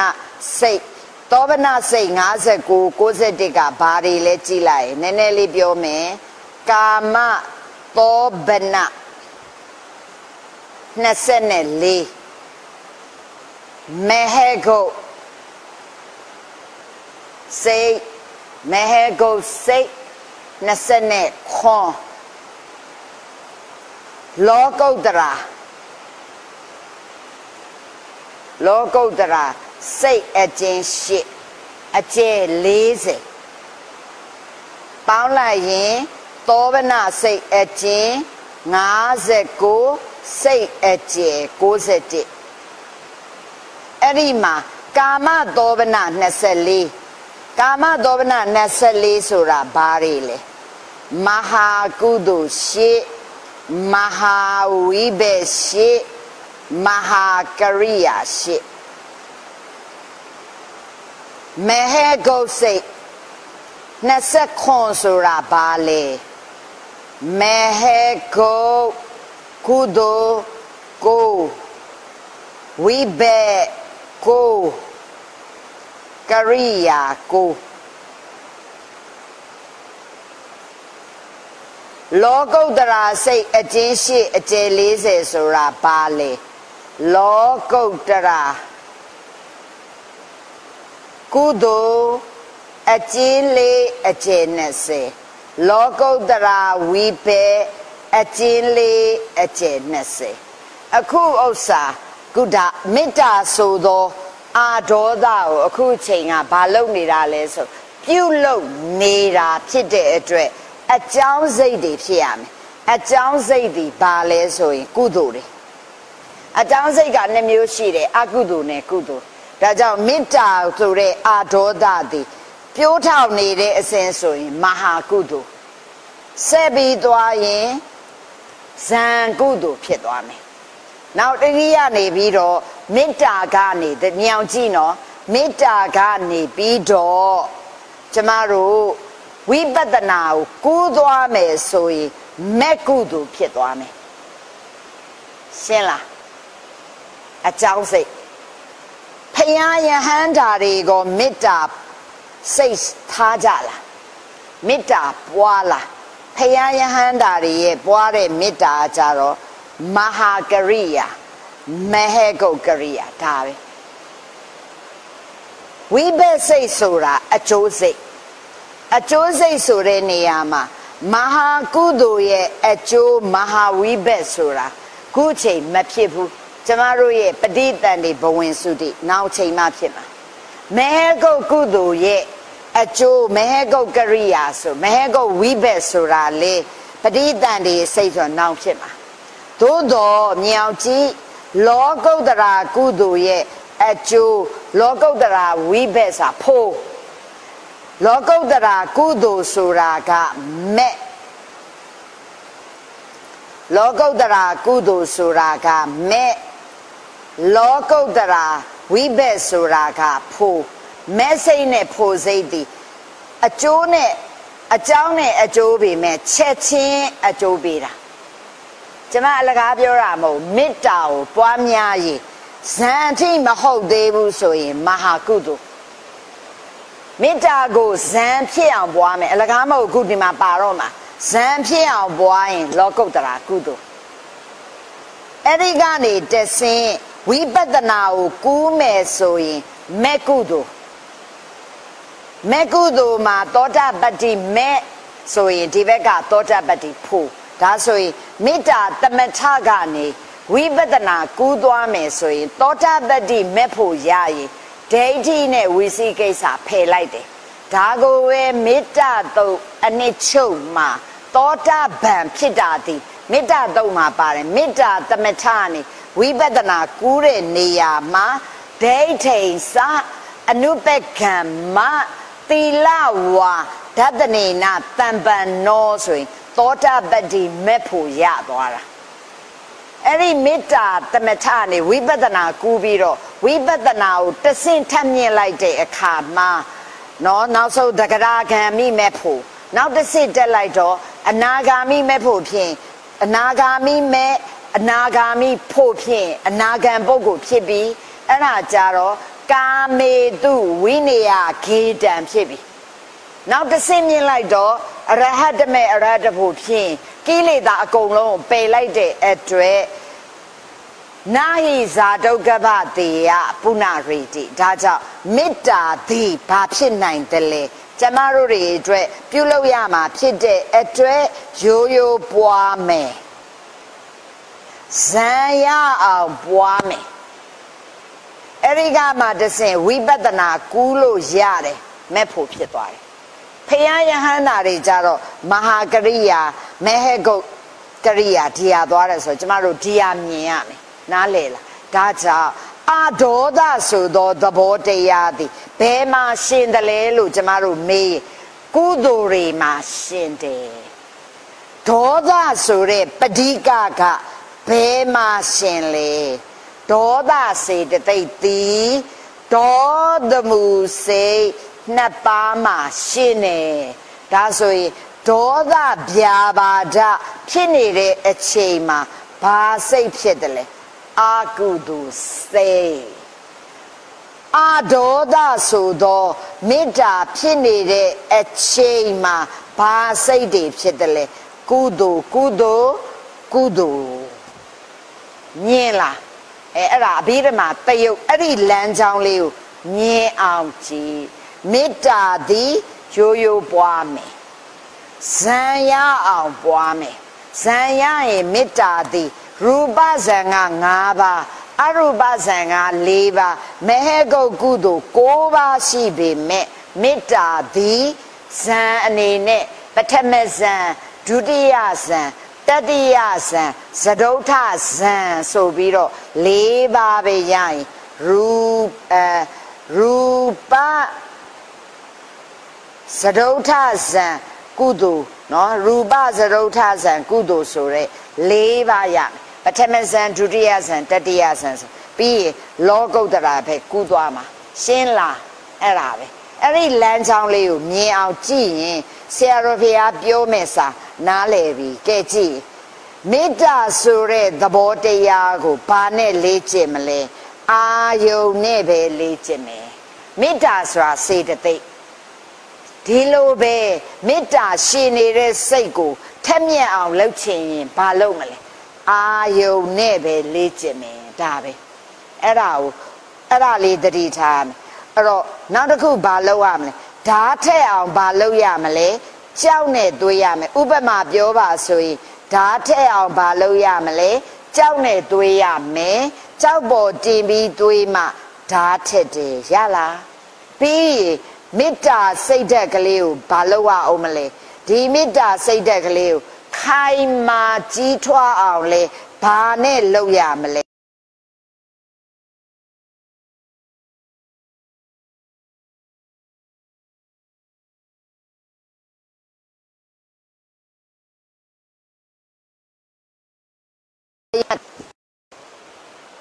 မေတ္တာကိုထက်အောင်ဘာနဲ့လေ့ကျင့်ရမလဲအာယုံနဲ့လေ့ကျင့်ရမယ်စိတ်တစ်ခုကိုထက်မြက်အောင် ဘာနဲ့လေ့ကျင့်ရမလဲအာယုံနဲ့မေတ္တာရှင်တဲ့စိတ်စိတ်သည်စိတ်ဖြစ်တဲ့အချိန်မှာမေတ္တာစိတ်ကလေးမေတ္တာသဘောလေးကိုလိုက်ဖြစ်လာမေတ္တာစေတသိက်သည်စိတ်နဲ့အတူဖြစ်မယ်စိတ်နဲ့အတူချုပ်မယ်အာယုံတူမယ်မေတ္တာသည်တတ္တဝါပြည့်ညက်ကိုအာယုံပြုရင်စိတ်သည်လေတတ္တဝါပြည့်ညက်ကိုပဲအာယုံပြုမယ်ရှင်းလား ဒီဟာလေးကိုမြင်ရမယ်ဒါကြောင့်မေတ္တာကိုစိတ်ကလေးကိုထက်မြောက်လေ့ကျင့်ခြင်းရင်အာယုံနဲ့ပဲလေ့ကျင့်ရမယ်မေတ္တာသဘောတရားကိုအာယုံနဲ့ပဲလေ့ကျင့်မယ်ဓာတ်ထက်အောင်ဘာလုပ်ရမလဲကြောက်နဲ့တွေးမယ်ဒီဥပမာထည့်ဖြေရမယ်ကြောက်ပေါ်တင်ပြီးတွေးမှဓာတ်ထက်တယ်ထို့အတူပဲမေတ္တာစိတ်ဓာတ်လေးခိုင်မာကြီးထွားအောင်လဲဘာလုပ်ရမလဲအာယုန်နေနဲ့လေ့ကျင့်ရမယ် အဲ့ဒီလေ့ကျင့်ခန်းကိုဒီစာများတယ်ဓမ္မမိတ်ဆွေများဆရာတော်ဖေကဒီဗျာပါဒဆိုတဲ့ဒေါသရဲ့ထွက်ပေါက်ဒီမေတ္တာပါဆိုတာစာအများကြီးဟောတာဘာနဲ့ဟောမလဲမေတ္တာလေးကျင့်ခန်းကိုတဲ့ဘယ်မှာရှိတာလဲလို့ပြောရင်ဝီတုတ်ဒီမဲ့ကျမ်းကြီးမှာရှင်းရှင်းလင်းလင်းရေးထားတာရှိတယ်တဲ့မေတ္တာလေးကျင့်ခန်း လုပ်တဲ့ဤတစ်ခုမေတ္တာတမ္မန်ကုသိုလ်ရယုံပို့တဲ့မေတ္တာမျိုးမဟုတ်ဘူးတဲ့တမ္မန်ကုသိုလ်ရယုံပို့တဲ့မေတ္တာကတော့တဗ္ဗေတတ္တာအဝေရာဟွန်တုဆိုသွားပေါ့တဲ့မေတ္တာဖျားရှိခိုးရင်လေမေတ္တာပို့တာပဲလေတဲ့တတ္တဝါတွေချမ်းသာပါစေဒါမျိုးကိုပြောတာမဟုတ်ဘူးဆိုရင်အဲ့ဒီမှာမေတ္တာသည်လေးကျင့်ခန်းမှာနှစ်မျိုးရှိပါသည် တာမန်ကုသိုလ်ရတဲ့လေးကျင့်ခန်းဇံရအောင်သွားမဲ့လေးကျင့်ခန်းဗျာပါဒနိဝရဏကိုဖယ်ရှားနိုင်တဲ့အထိလေ့ကျင့်ခန်းနှစ်ခုရှိတယ်။တမ္မန်ကုသိုလ်ရတဲ့လေ့ကျင့်ခန်းကခုကျမတို့မေတ္တာတို့အနည်းချုပ်မှာတင်းတဲ့အတိုင်းမေတ္တာလေးပွားနေမယ်ဆိုရင်အဲ့ဒါဒီတမ္မန်ကုသိုလ်ရတဲ့တမ္မန်ကုသိုလ်ရယုံ ပို့တော်မေတ္တာမျိုးပါအဲ့ဒါတော့ဖယားရှိခိုးရေးလဲမေတ္တာပို့တာလေတဲ့အဲ့ဒါဝါတွေချမ်းသာပါစေဆိုတာမျိုးပေါ်တယ်ဆိုတော့ဒါလေးလဲတစ်ချက်သိရပါမယ်အခုပြောမှာကဗျာပါဒဒေါသကိုဖယ်ရှားနေဖြစ်တဲ့အတွက်မေတ္တာလေးကျင့်ငန်းသည်အခုဇန်လေးကျင့်ငန်းကိုပြောတော့မယ်မေတ္တာလေးကျင့်ငန်းဝင်ပြီဆိုတာတဲ့ meditation အလုပ်လုပ်မှာပြောတာတဲ့ meditation ပုံစံနဲ့မေတ္တာကိုအာယုံနဲ့လေးကျင့်ယူရမယ်တဲ့အာယုံဆိုတာဘာလဲမေတ္တာရဲ့အာယုံသည်ဘာတွေလဲဓမ္မမရွှေများမေတ္တာရဲ့အာယုံသည်ဘေးမှာမှတ်ထားတတ္တဝါပညာအာယုံဒီဗျာပါဒဒေါသရဲ့ထွက်ပေါက်မေတ္တာကိုဆရာတော်ဘုရားကကျမတို့ level 1တုန်းကမေတ္တာတို့အနှစ်ချုပ်သင်ထားတာဖြစ်တဲ့အတွက်အခု level 3မှာနောက်ဆုံးပိတ်အိတ်နဲ့လွယ်အရှိကြီးကိုသင်ရမှာဘာလို့ထိသင်ရမလဲဝီတုတ်ဒီမက်ထဲအားထုတ်ပြတယ်အများကြီးပဲမေတ္တာကိုပြတယ်အဲ့ဒါကအရှိကမေတ္တာတို့အနှစ်ချုပ်ကိုပြန်ပြီးတော့ကြက်ထားပါအဲ့ဒီကြောရိုးတိုင်းကိုဆရာတော်ဟောလိုက်မယ်ဟုတ်ပြီနော် သို့တော့ကြောရိုးတိုင်းတော့ဟောမယ်အဲ့ဒီမှာထက်ချက်မာတွေအများကြီးပါတယ်ဒါကြောင့်ဒါအရေးကြီးတယ်နော်ဆက်ကြည့်မယ်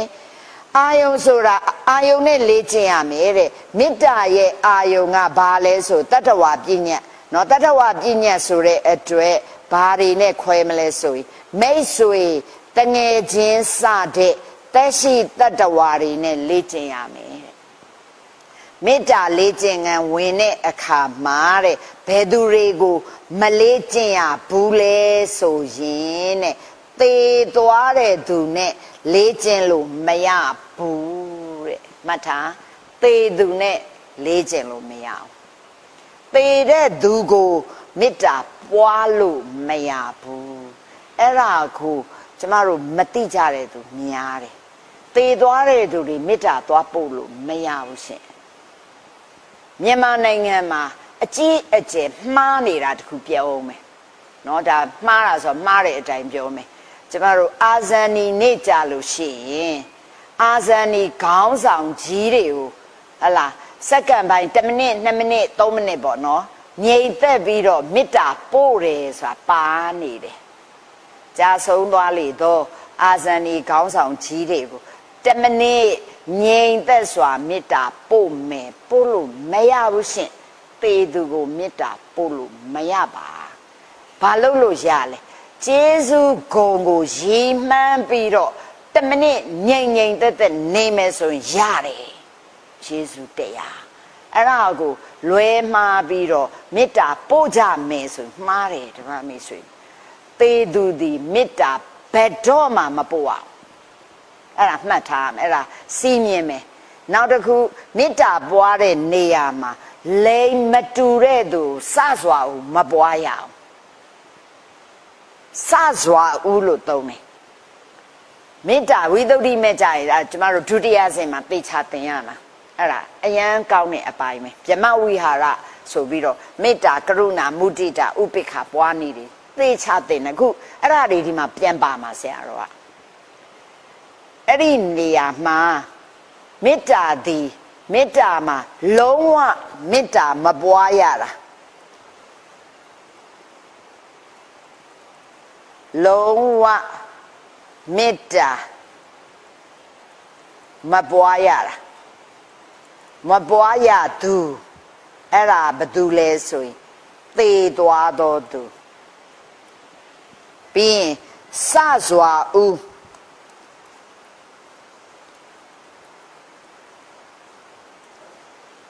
စစွာဥစားအရင်ဆုံးမေတ္တာလေးကျင့်တော်မယ်ဆိုရင်စစွာဥမေတ္တာမပွားရတဲ့သူကလိမ်မတူသူလိမ်မတူတဲ့သူလိမ်မတူတဲ့သူဒီစစွာဥမေတ္တာကိုကအမျိုးသမီးဆိုရင်စစွာဥမေတ္တာပွားတဲ့အခါမှာအမျိုးသားတယောက်ကိုမပွားရဘူး အမျိုးသားတယောက်ဒီအမျိုးသမီးကိုစစွာမပွားရအောင်သို့တော့နောက်ပိုင်းကျသွားရင်တော့ပွားလို့ရတယ်ပွားတဲ့နေရာမှာတီးသက်မပွားရအောင်ခြုံပြီးတော့ပွားလို့ရတယ်အလုံးသောဟလာမတတဝါတွေအလုံးသောဖိုတတဝါတွေအဲ့လိုပွားလို့ရတယ်စစွာဥဇံရအောင်လုပ်တဲ့အချိန်ကိုယ်ဥစ္စာဇံရအောင်လုပ်နည်းဒါကြောင့် ဝိသုဒ္ဓိတဲ့မဲ့ထမပါနေတာဇံရအောင်လုပ်နေကုသိုလ်ရအောင်ပွားနေရတော့မေတ္တာပွားနေခုနပြောတဲ့စတနည်းနဲ့ပွားလို့ရတယ်နော်ကြောက်တယ်မကြောက်တယ်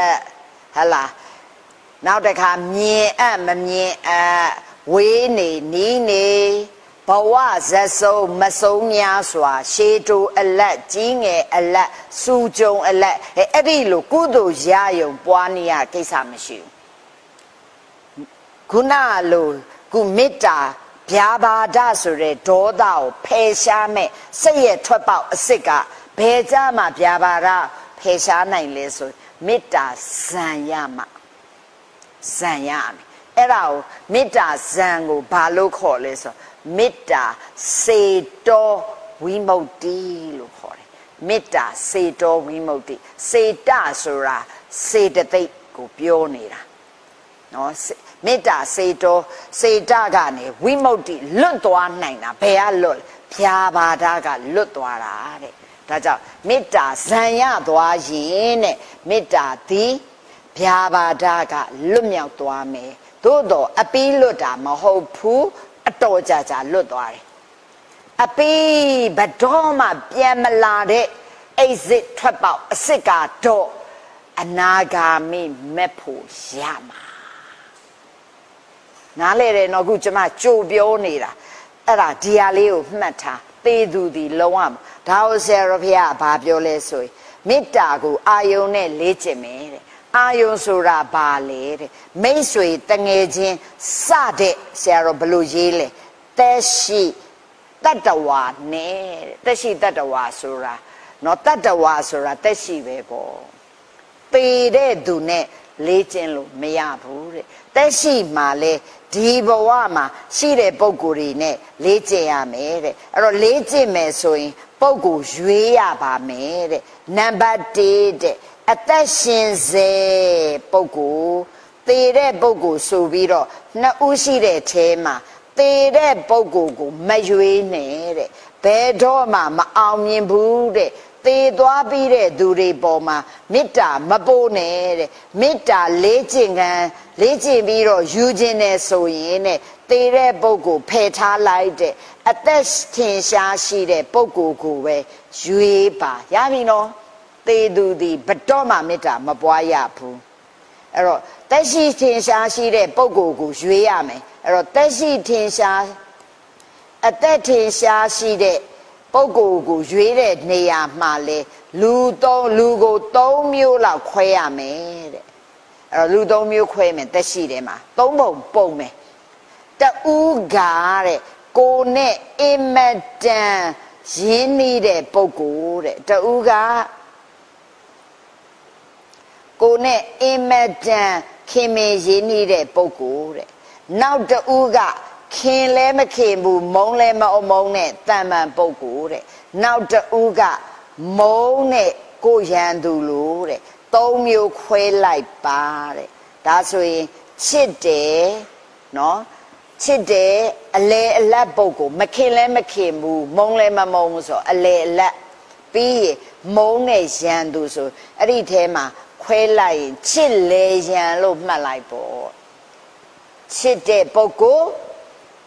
ချစ်လည်းမချစ်မုံလည်းမမုံနဲ့အလေအလတ်စလို့ပြောရင်မစ္စီမပေါ့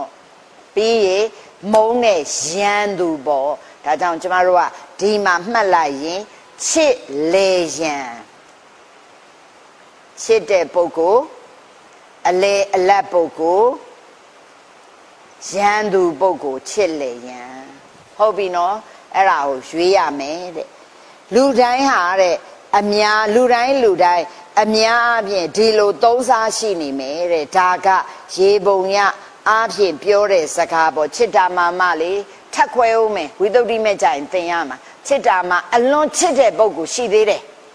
အလွန်ချစ်တဲ့ပုဂ္ဂိုလ်ချစ်တဲ့ပုဂ္ဂိုလ်အလေအလတ်ပုဂ္ဂိုလ်ရန်သူပုဂ္ဂိုလ်အဲ့ဒီမှာအလွန်ချစ်တဲ့ပုဂ္ဂိုလ်ကိုလည်းစစွာအောင်မေတ္တာပွားလို့မရအောင် အလွန်ချစ်တဲ့သူကိုပွားရင်ပွားရင်နဲ့ချစ်တဲ့စိတ်ကမေတ္တာမပွားရင်နဲ့ဘယ်ရောက်သွားလဲရာဂပဲရောက်သွားတတ်တယ်နော်ပြီးရင်ခုနပြောတဲ့ဟလာဟိုအဲ့တော့တန်မန်ချစ်တဲ့ပုဂ္ဂိုလ်ပေါ့ဒါမိတ်ဆွေတငယ်ချင်းလို့ဆိုတန်မန်ချစ်တာအာအရန်ချစ်တဲ့ပုဂ္ဂိုလ်အဲအဲ့ဒါမျိုးရှိသေးတယ်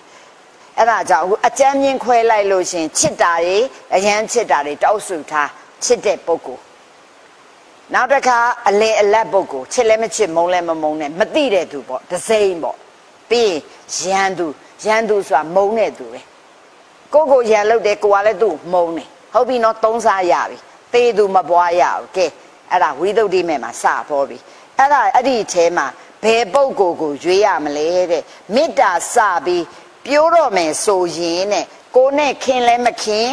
မုံလဲမမုံတဲ့ပုဂ္ဂိုလ်ကိုသွားရေးရင် မေတ္တာပြိုးဖို့ခဲ့လိမ့်မယ်ဘာကြောင့်လဲသူ့ပေါ်မှာခင်မမခင်နာတဲ့သူ့ကိုပထမရွေးလို့မဖြစ်ဘူးတဲ့မေတ္တာစပို့တော့မှာသူ့ကိုဖယ်လိုက်အောင်တဲ့နောက်တစ်ခါရန်သူကိုရွေးမလားတဲ့ရန်သူသွားရင်ဒေါသကြီးပဲထွက်နေမယ်တဲ့မေတ္တာပိုးလို့မရဘူးတဲ့ဒါဆိုရင်တဲ့ရန်သူကိုလည်းမရွေးနဲ့အဲ့ဒီတော့ဘာရွေးရမလဲပိယပုဂ္ဂလပိယဆိုတာချစ်ချင်းနော်အဲ့ဒါကြောင့်ပိယပုဂ္ဂလကိုခင်မင်း ကိုခင်မင်းချစ်ခင်တဲ့ပုဂ္ဂိုလ်ကိုရွေးရမယ်အဲ့ဒီကနေစမယ်ချစ်တာနဲ့စပြမယ်အဲ့ဒီလိုမေတ္တာပို့တော့မယ်ဆိုရင်တဲ့အဲ့ဒီကစမယ်တဲ့အဲ့ဒီပုဂ္ဂိုလ်ကိုရွေးရွေးတဲ့နေရာမှာလဲနောက်တစ်ခုသတိထားလိန်တူကိုပဲရွေးရမယ်ဟုတ်တယ်နော်လိန်တူကိုပဲရွေးရမယ်လိန်ခွဲကိုသွားမရွေးရအောင်ဆိုလိုတာကတဲ့မေတ္တာပို့မဲ့ပုဂ္ဂိုလ်သည်အမျိုးသားဆိုရင် အမျိုးသားတငယ်ချင်းတွေကရွေးအမျိုးသမီးဆိုရင် အမျိုးသမီးတွေကရွေးအမျိုးသားကအမျိုးသမီးကိုတွားရွေးမယ်အမျိုးသမီးကအမျိုးသားကိုတွားရွေးမယ်လိမ့်မတူတာကိုရွေးမိမေတ္တာဖြစ်မဲ့အစာတဏှာရာဂတွေဖြစ်လာတတ်တယ်တဲ့အန္တရာယ်ရှိတယ်ဒါကြောင့်ဒီလိုမရွေးရဘူးတဲ့အဲ့တော့ဒါကြောင့်မို့အမျိုးသားဆိုရင် အမျိုးသားတွေက ချစ်ခင်တဲ့ပုဂ္ဂိုလ်ကိုရွေးရမယ်ဆရာကဲသို့ချစ်ခင်တဲ့သူရွေးရတယ်အမျိုးသမီးဆိုရင်အမျိုးသမီးတွေကချစ်ခင်တဲ့ပုဂ္ဂိုလ်ရွေးရမယ်အဲ့ဒီလိုရွေးပြီးတော့စိတ်ဓာတ်ကိုလေ့ကျင့်ပေးရမယ်ဝိသုဒ္ဓိမဲ့အဲမှာဘာပြောလဲဆိုရင်ကျမတို့ဒါအင်မတန်စိတ်ဝင်စားဖို့ကောင်းတယ်ဝိသုဒ္ဓိမဲ့မှာဥပုပ်လဲဥပုပ်နေဆိုတဲ့အတွက်ကြောင့်เนาะဟိုသူကအထင်ကဥပောတထတီလာကိုယူပြီးတော့ဒီကနေ့ နော်မေတ္တာပွားပြီးတော့နေမယ်ပေါ့မေတ္တာပွားပြီးတော့မေတ္တာအထွတ်တင်ထားတဲ့ဥပောတထတီလာကိုကျမတို့ခုခေတ်မှာတော့၉ပါးတီလာလို့ဆိုကြတယ်မေတ္တာတဟကတိနာစေတတာတဗ္ဗပါဏဗုဒေတုဖရိတဝါဝိဟရဏံဝိဟရမိမေတ္တာနဲ့ရှင်သောစိတ်ဖြင့်ဒီနေ့တစ်နေ့လုံးနေကြမယ်အဲ့ဒီမှာအိမ်အောင်ရှိတဲ့နော်ဟိုအင်မတန်ချစ်ကြတဲ့ဇနီးခင်မွန်နှစ်ယောက်ဥပုပ်နေ့ဆိုတော့တယောက်တခန်း ခွဲပြီးနေကြတယ်ခွဲနေပြီးတော့ဒီနေ့မိုးလင်းကနေမိုးချုပ်နော်မေတ္တာပွားပြီးတော့နေမယ်လို့နေကြတယ်နေကြဖို့အဲ့ဒီအချိန်မှာစွန်းငံကြွလာတဲ့ကိုတော်တပါးကြွလာတယ်ကြွလာတဲ့အချိန်မှာအမျိုးသားမေးတယ်တပည့်တော်မေတ္တာပွားခြင်းပါတယ်ဖေယားဘယ်သူ့ကိုဘလို့မေတ္တာပွားမလဲဆိုချစ်တဲ့သူကိုမေတ္တာပွားလို့ပဲတန်ပန်ပြောပြီးတော့ပြန်ကြွသွားတော့အဲ့ဒီမျိုးသားစဉ်းစားလိုက်တယ်ငါ ငါချစ်တဲ့သူဒီဘသူလဲဆိုတော့ तू ကသူ့မိမသူတိတ်ချစ်တာ哦တိတ်ချစ်တဲ့အတွက်ကြောင့်အဲ့ဒါနဲ့ तू မေတ္တာပွားမယ်ဆိုပြီးတော့နော်သူ့ခန်းထဲမှာတမလင်းခွေထိုင်ထိုင်ပြီးတော့သူ့မျိုးသမီးရဲ့ပုံကိုအာရုံပြုပြီးတဲ့အခါမေတ္တာပွားမယ်ဆိုပြီးတော့မျက်နှာကိုစူးစိုက်ပြီးတော့မေတ္တာပွားတယ်ပွားတဲ့အခါမှာငကိုဓာတ်ခံကလည်းအမျိုးသမီးကိုချစ်တယ်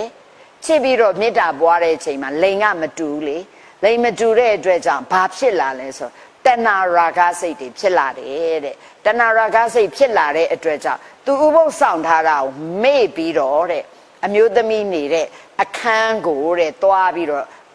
ခောက်တယ်တဲ့ခောက်တယ်လို့တော့မရေးဝိသုဒ္ဓိမဲ့အထကထာကိုရေးတဲ့ဆရာတော်ကရှင်မဗုဒ္ဓဂောတာစာဘုတ်အစာဘုတ်လေဘုတ်အစုံဘုတ်သုံးပါးထဲမှာပါတယ်အင်မတန်ပညာကြီးတဲ့ပုဂ္ဂိုလ်နော်အဲ့တော့ရှင်မဗုဒ္ဓဂောတာရေးထားတာအဲ့ဒီ အမျိုးသမီးရှိတဲ့အခန်းရဲ့နယံကိုတဲ့ခေါင်းနဲ့သွားခွေနေတယ်တဲ့အဲ့လိုလေးမျက်မှပြန်ထားတယ်နော်အဲ့ဒါဘာလဲဆိုရင်မေတ္တာကိုစစွာဦးပွားရင်ချစ်တဲ့သူကိုပွားယုံနဲ့မလုံလောက်ဘူးနော်လိန်မတူရဘူးဆိုတာမပြောအောင်လိန်တူဖြစ်ရမယ်လိန်ခွဲမဖြစ်အောင်လိန်ခွဲဆိုရင်မေတ္တာရဲ့ဓမ္မမိတ်ဆွေများပြောမယ်နော်ကျမတို့မှတ်ထားတယ် မေတ္တာမှာမေတ္တာရဲ့ရန်သူသည်မေတ္တာမှာနှစ်မျိုးရှိတယ်အဝေးရန်သူအနီးရန်သူအတွင်းရန်သူအပြင်ရန်သူမတူဘူးနော်မေတ္တာတုတ်တုံးကသင်ထားတယ်နော်မေတ္တာရဲ့အပြင်ရန်သူရဲ့အတွင်းရန်သူရဲ့နှစ်ခုရှိတယ်မေတ္တာရဲ့အပြင်ရန်သူကဘာလဲအပြင်ရန်သူသည် အပြင်းရန်သူသည်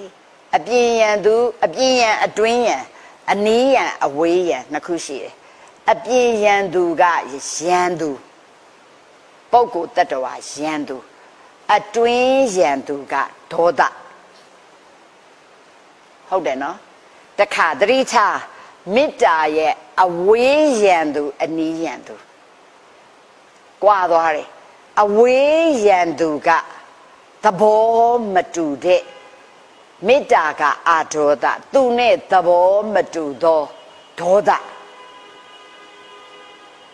အနီးကကသဘောချင်းတူနေတာမေတ္တာကလည်းချစ်တယ်ရာဂကလည်းချစ်တယ်အချစ်ချင်းတူနေတာဒီအနီးကမေတ္တာရောင်စောင့်တတ်တယ်ရာဂောမေတ္တာယဝင်းစေတီရာဂသည် မေတ္တာရောင်ဆောင်၍လှည့်ပတ်တတ်တယ်အဲ့ဒါကြောင့်မေတ္တာရဲ့အနီးကရန်သူသည်ရာဂမေတ္တာရဲ့အဝေးရန်သူသည်သဘောလုံးဝမတူတဲ့ဒေါသရှင်းတယ်နော်အဲ့တော့တခါအပြင်းရန်ဆိုတာကတကယ်ရန်တတ်ထုပြုနေကြတဲ့ပုံကိုတတ္တဝါအပြင်းရန်အတွင်းရန်က ဒေါသဟောဒါဆိုရင်ဒေါသသည်ပုဂ္ဂိုလ်တ attva တွေသည်အပြင်းရန်ဒေါသကကြတော့စေတသိက်ကိုယ်စိတ်ထဲမှာဖြစ်နေတဲ့ဒေါသကအတွေးစေတသိက်ကိလေသာဒေါသသို့တော့အဲ့ဒီဒေါသသည်မေတ္တာနဲ့သဘောမတူတဲ့အတွက်ဒေါသဖြစ်ရင်သိတာတယ်ဒေါသဖြစ်မေတ္တာပြက်သွားရောဟုတ်လားအဲ့ဒါကြောင့်အပြင်းရန် ရာဂဖြစ်နေရင်မေတ္တာပြက်လားမပြက်လားမသိဘူးရာဂချစ်လားမေတ္တာချစ်လားမကွဲနိုင်ဘူးဟုတ်လားဘာလို့လဲသဘောချင်းတူတယ်ချစ်တာချင်းတူနေရာဂကလည်းချစ်တယ်မေတ္တာကလည်းချစ်တယ်ရှင်ရာဂရဲ့ချစ်တာဒီအခုရှိမှပြထားခဲ့ပြီးပြီရာဂသည်တဦးတယောက်ကိုချစ်တယ်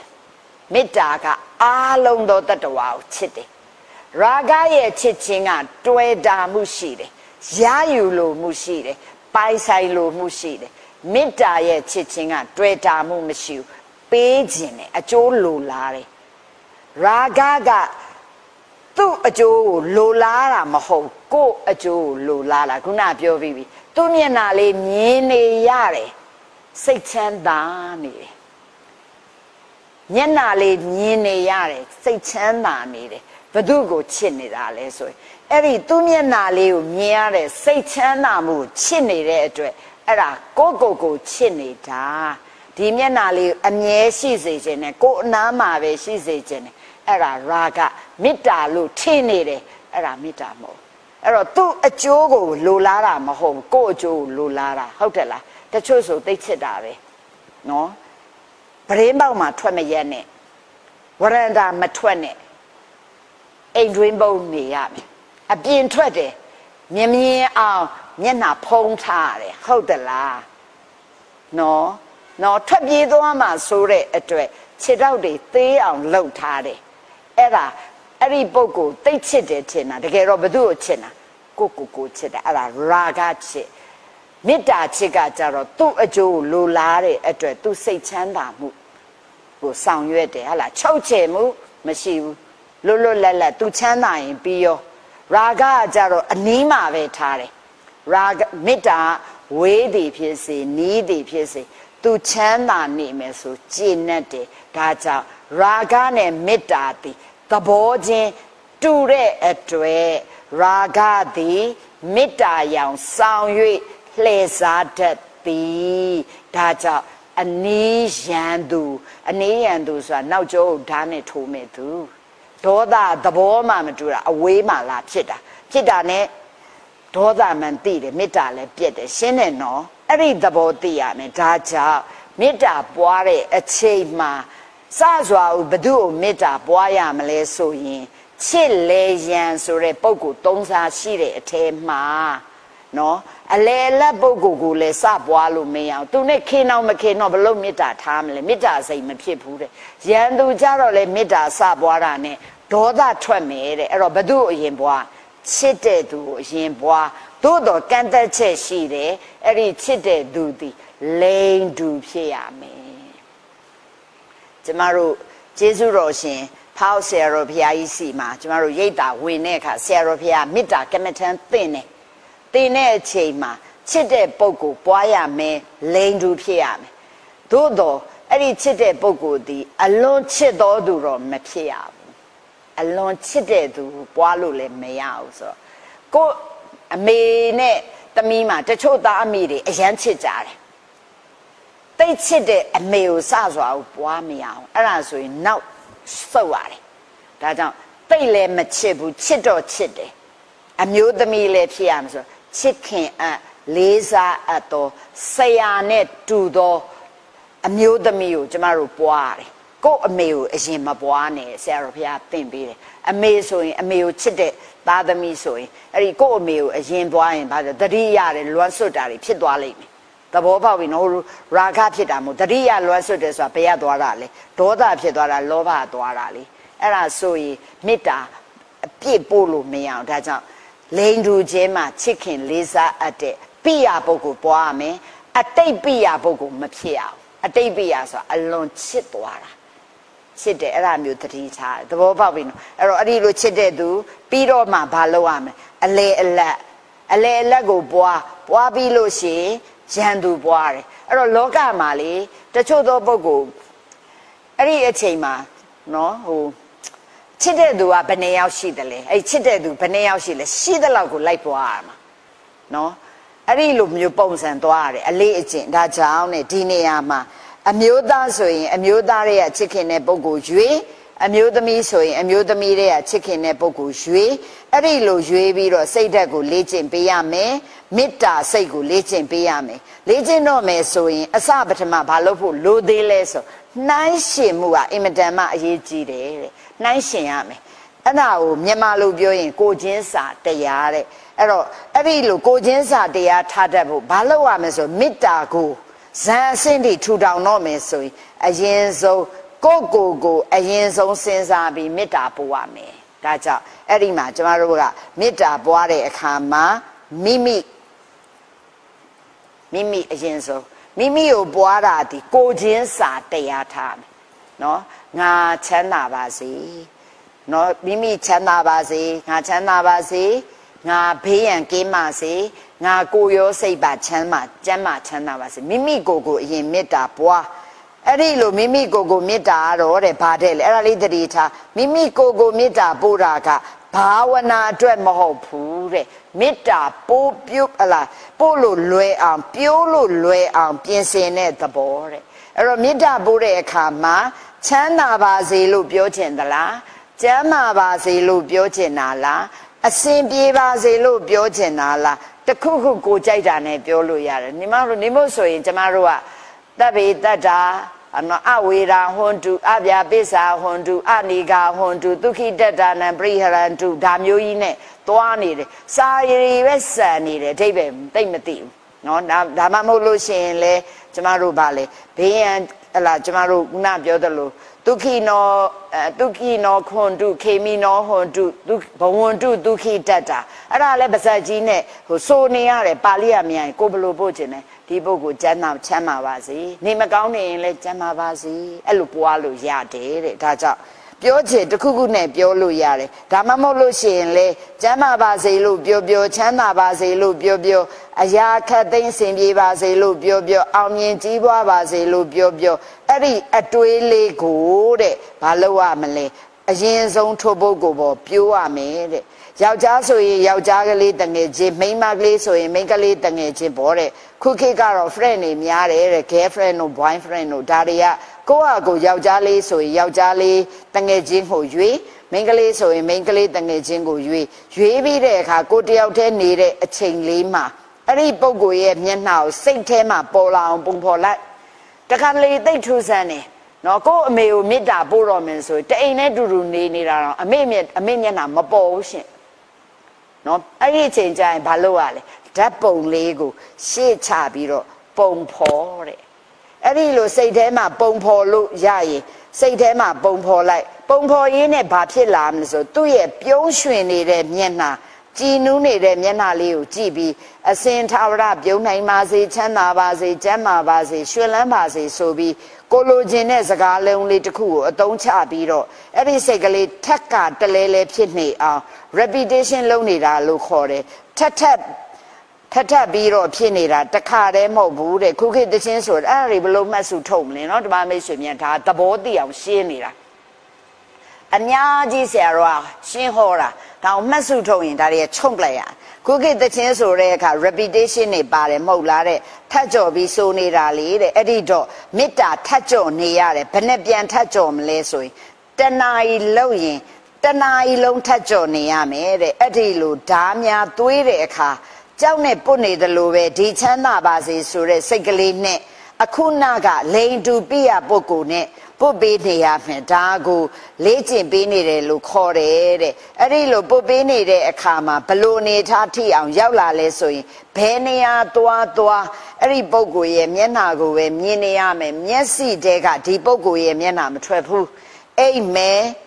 အိမ်မပြောသေးခင်လဲသူ့မျက်နှာပဲမြင်နေတယ်တခြားအသိမမြင်ဘူးစိတ်ကအဲ့ဒီပေါ်မှာပဲငြိမ်ကြလာတယ်ပေါ့တဲ့အဲ့ဒီလိုငြိမ်ကြလာတဲ့အပေါ်မှာမေတ္တာစိတ်ကလေးနဲ့ထက်ထက်ပြီးပုတ်ပေးနေရင်နောက်ဆုံးတမာရီစွမ်းအားတွေကောင်းလာလို့ရှိရင်တဲ့ဇန်တောင်ရနိုင်တယ်တဲ့အဲ့ဒါပုဂ္ဂိုလ်တယောက်ကိုယူပြီးတော့မေတ္တာမှာဇန်ရအောင်ထူထောင်နေပဲဓမ္မမိတ်ဆွေများရှင် နော်အဲ့တော့မျက်စိတွေကထွက်ကိုမထွက်ဘူးဆိုတော့ကျမတို့တချင်းရှိတယ်လေအဲအဲ့ဒီလိုမျိုးပြောတာမဟုတ်ဘူးနော်ဟိုဟိုထဲမှာဒါကြောင့်ပြောတာအတအိမ်နဲ့အတူတူနေနေတဲ့မေတ္တာပို့တယ်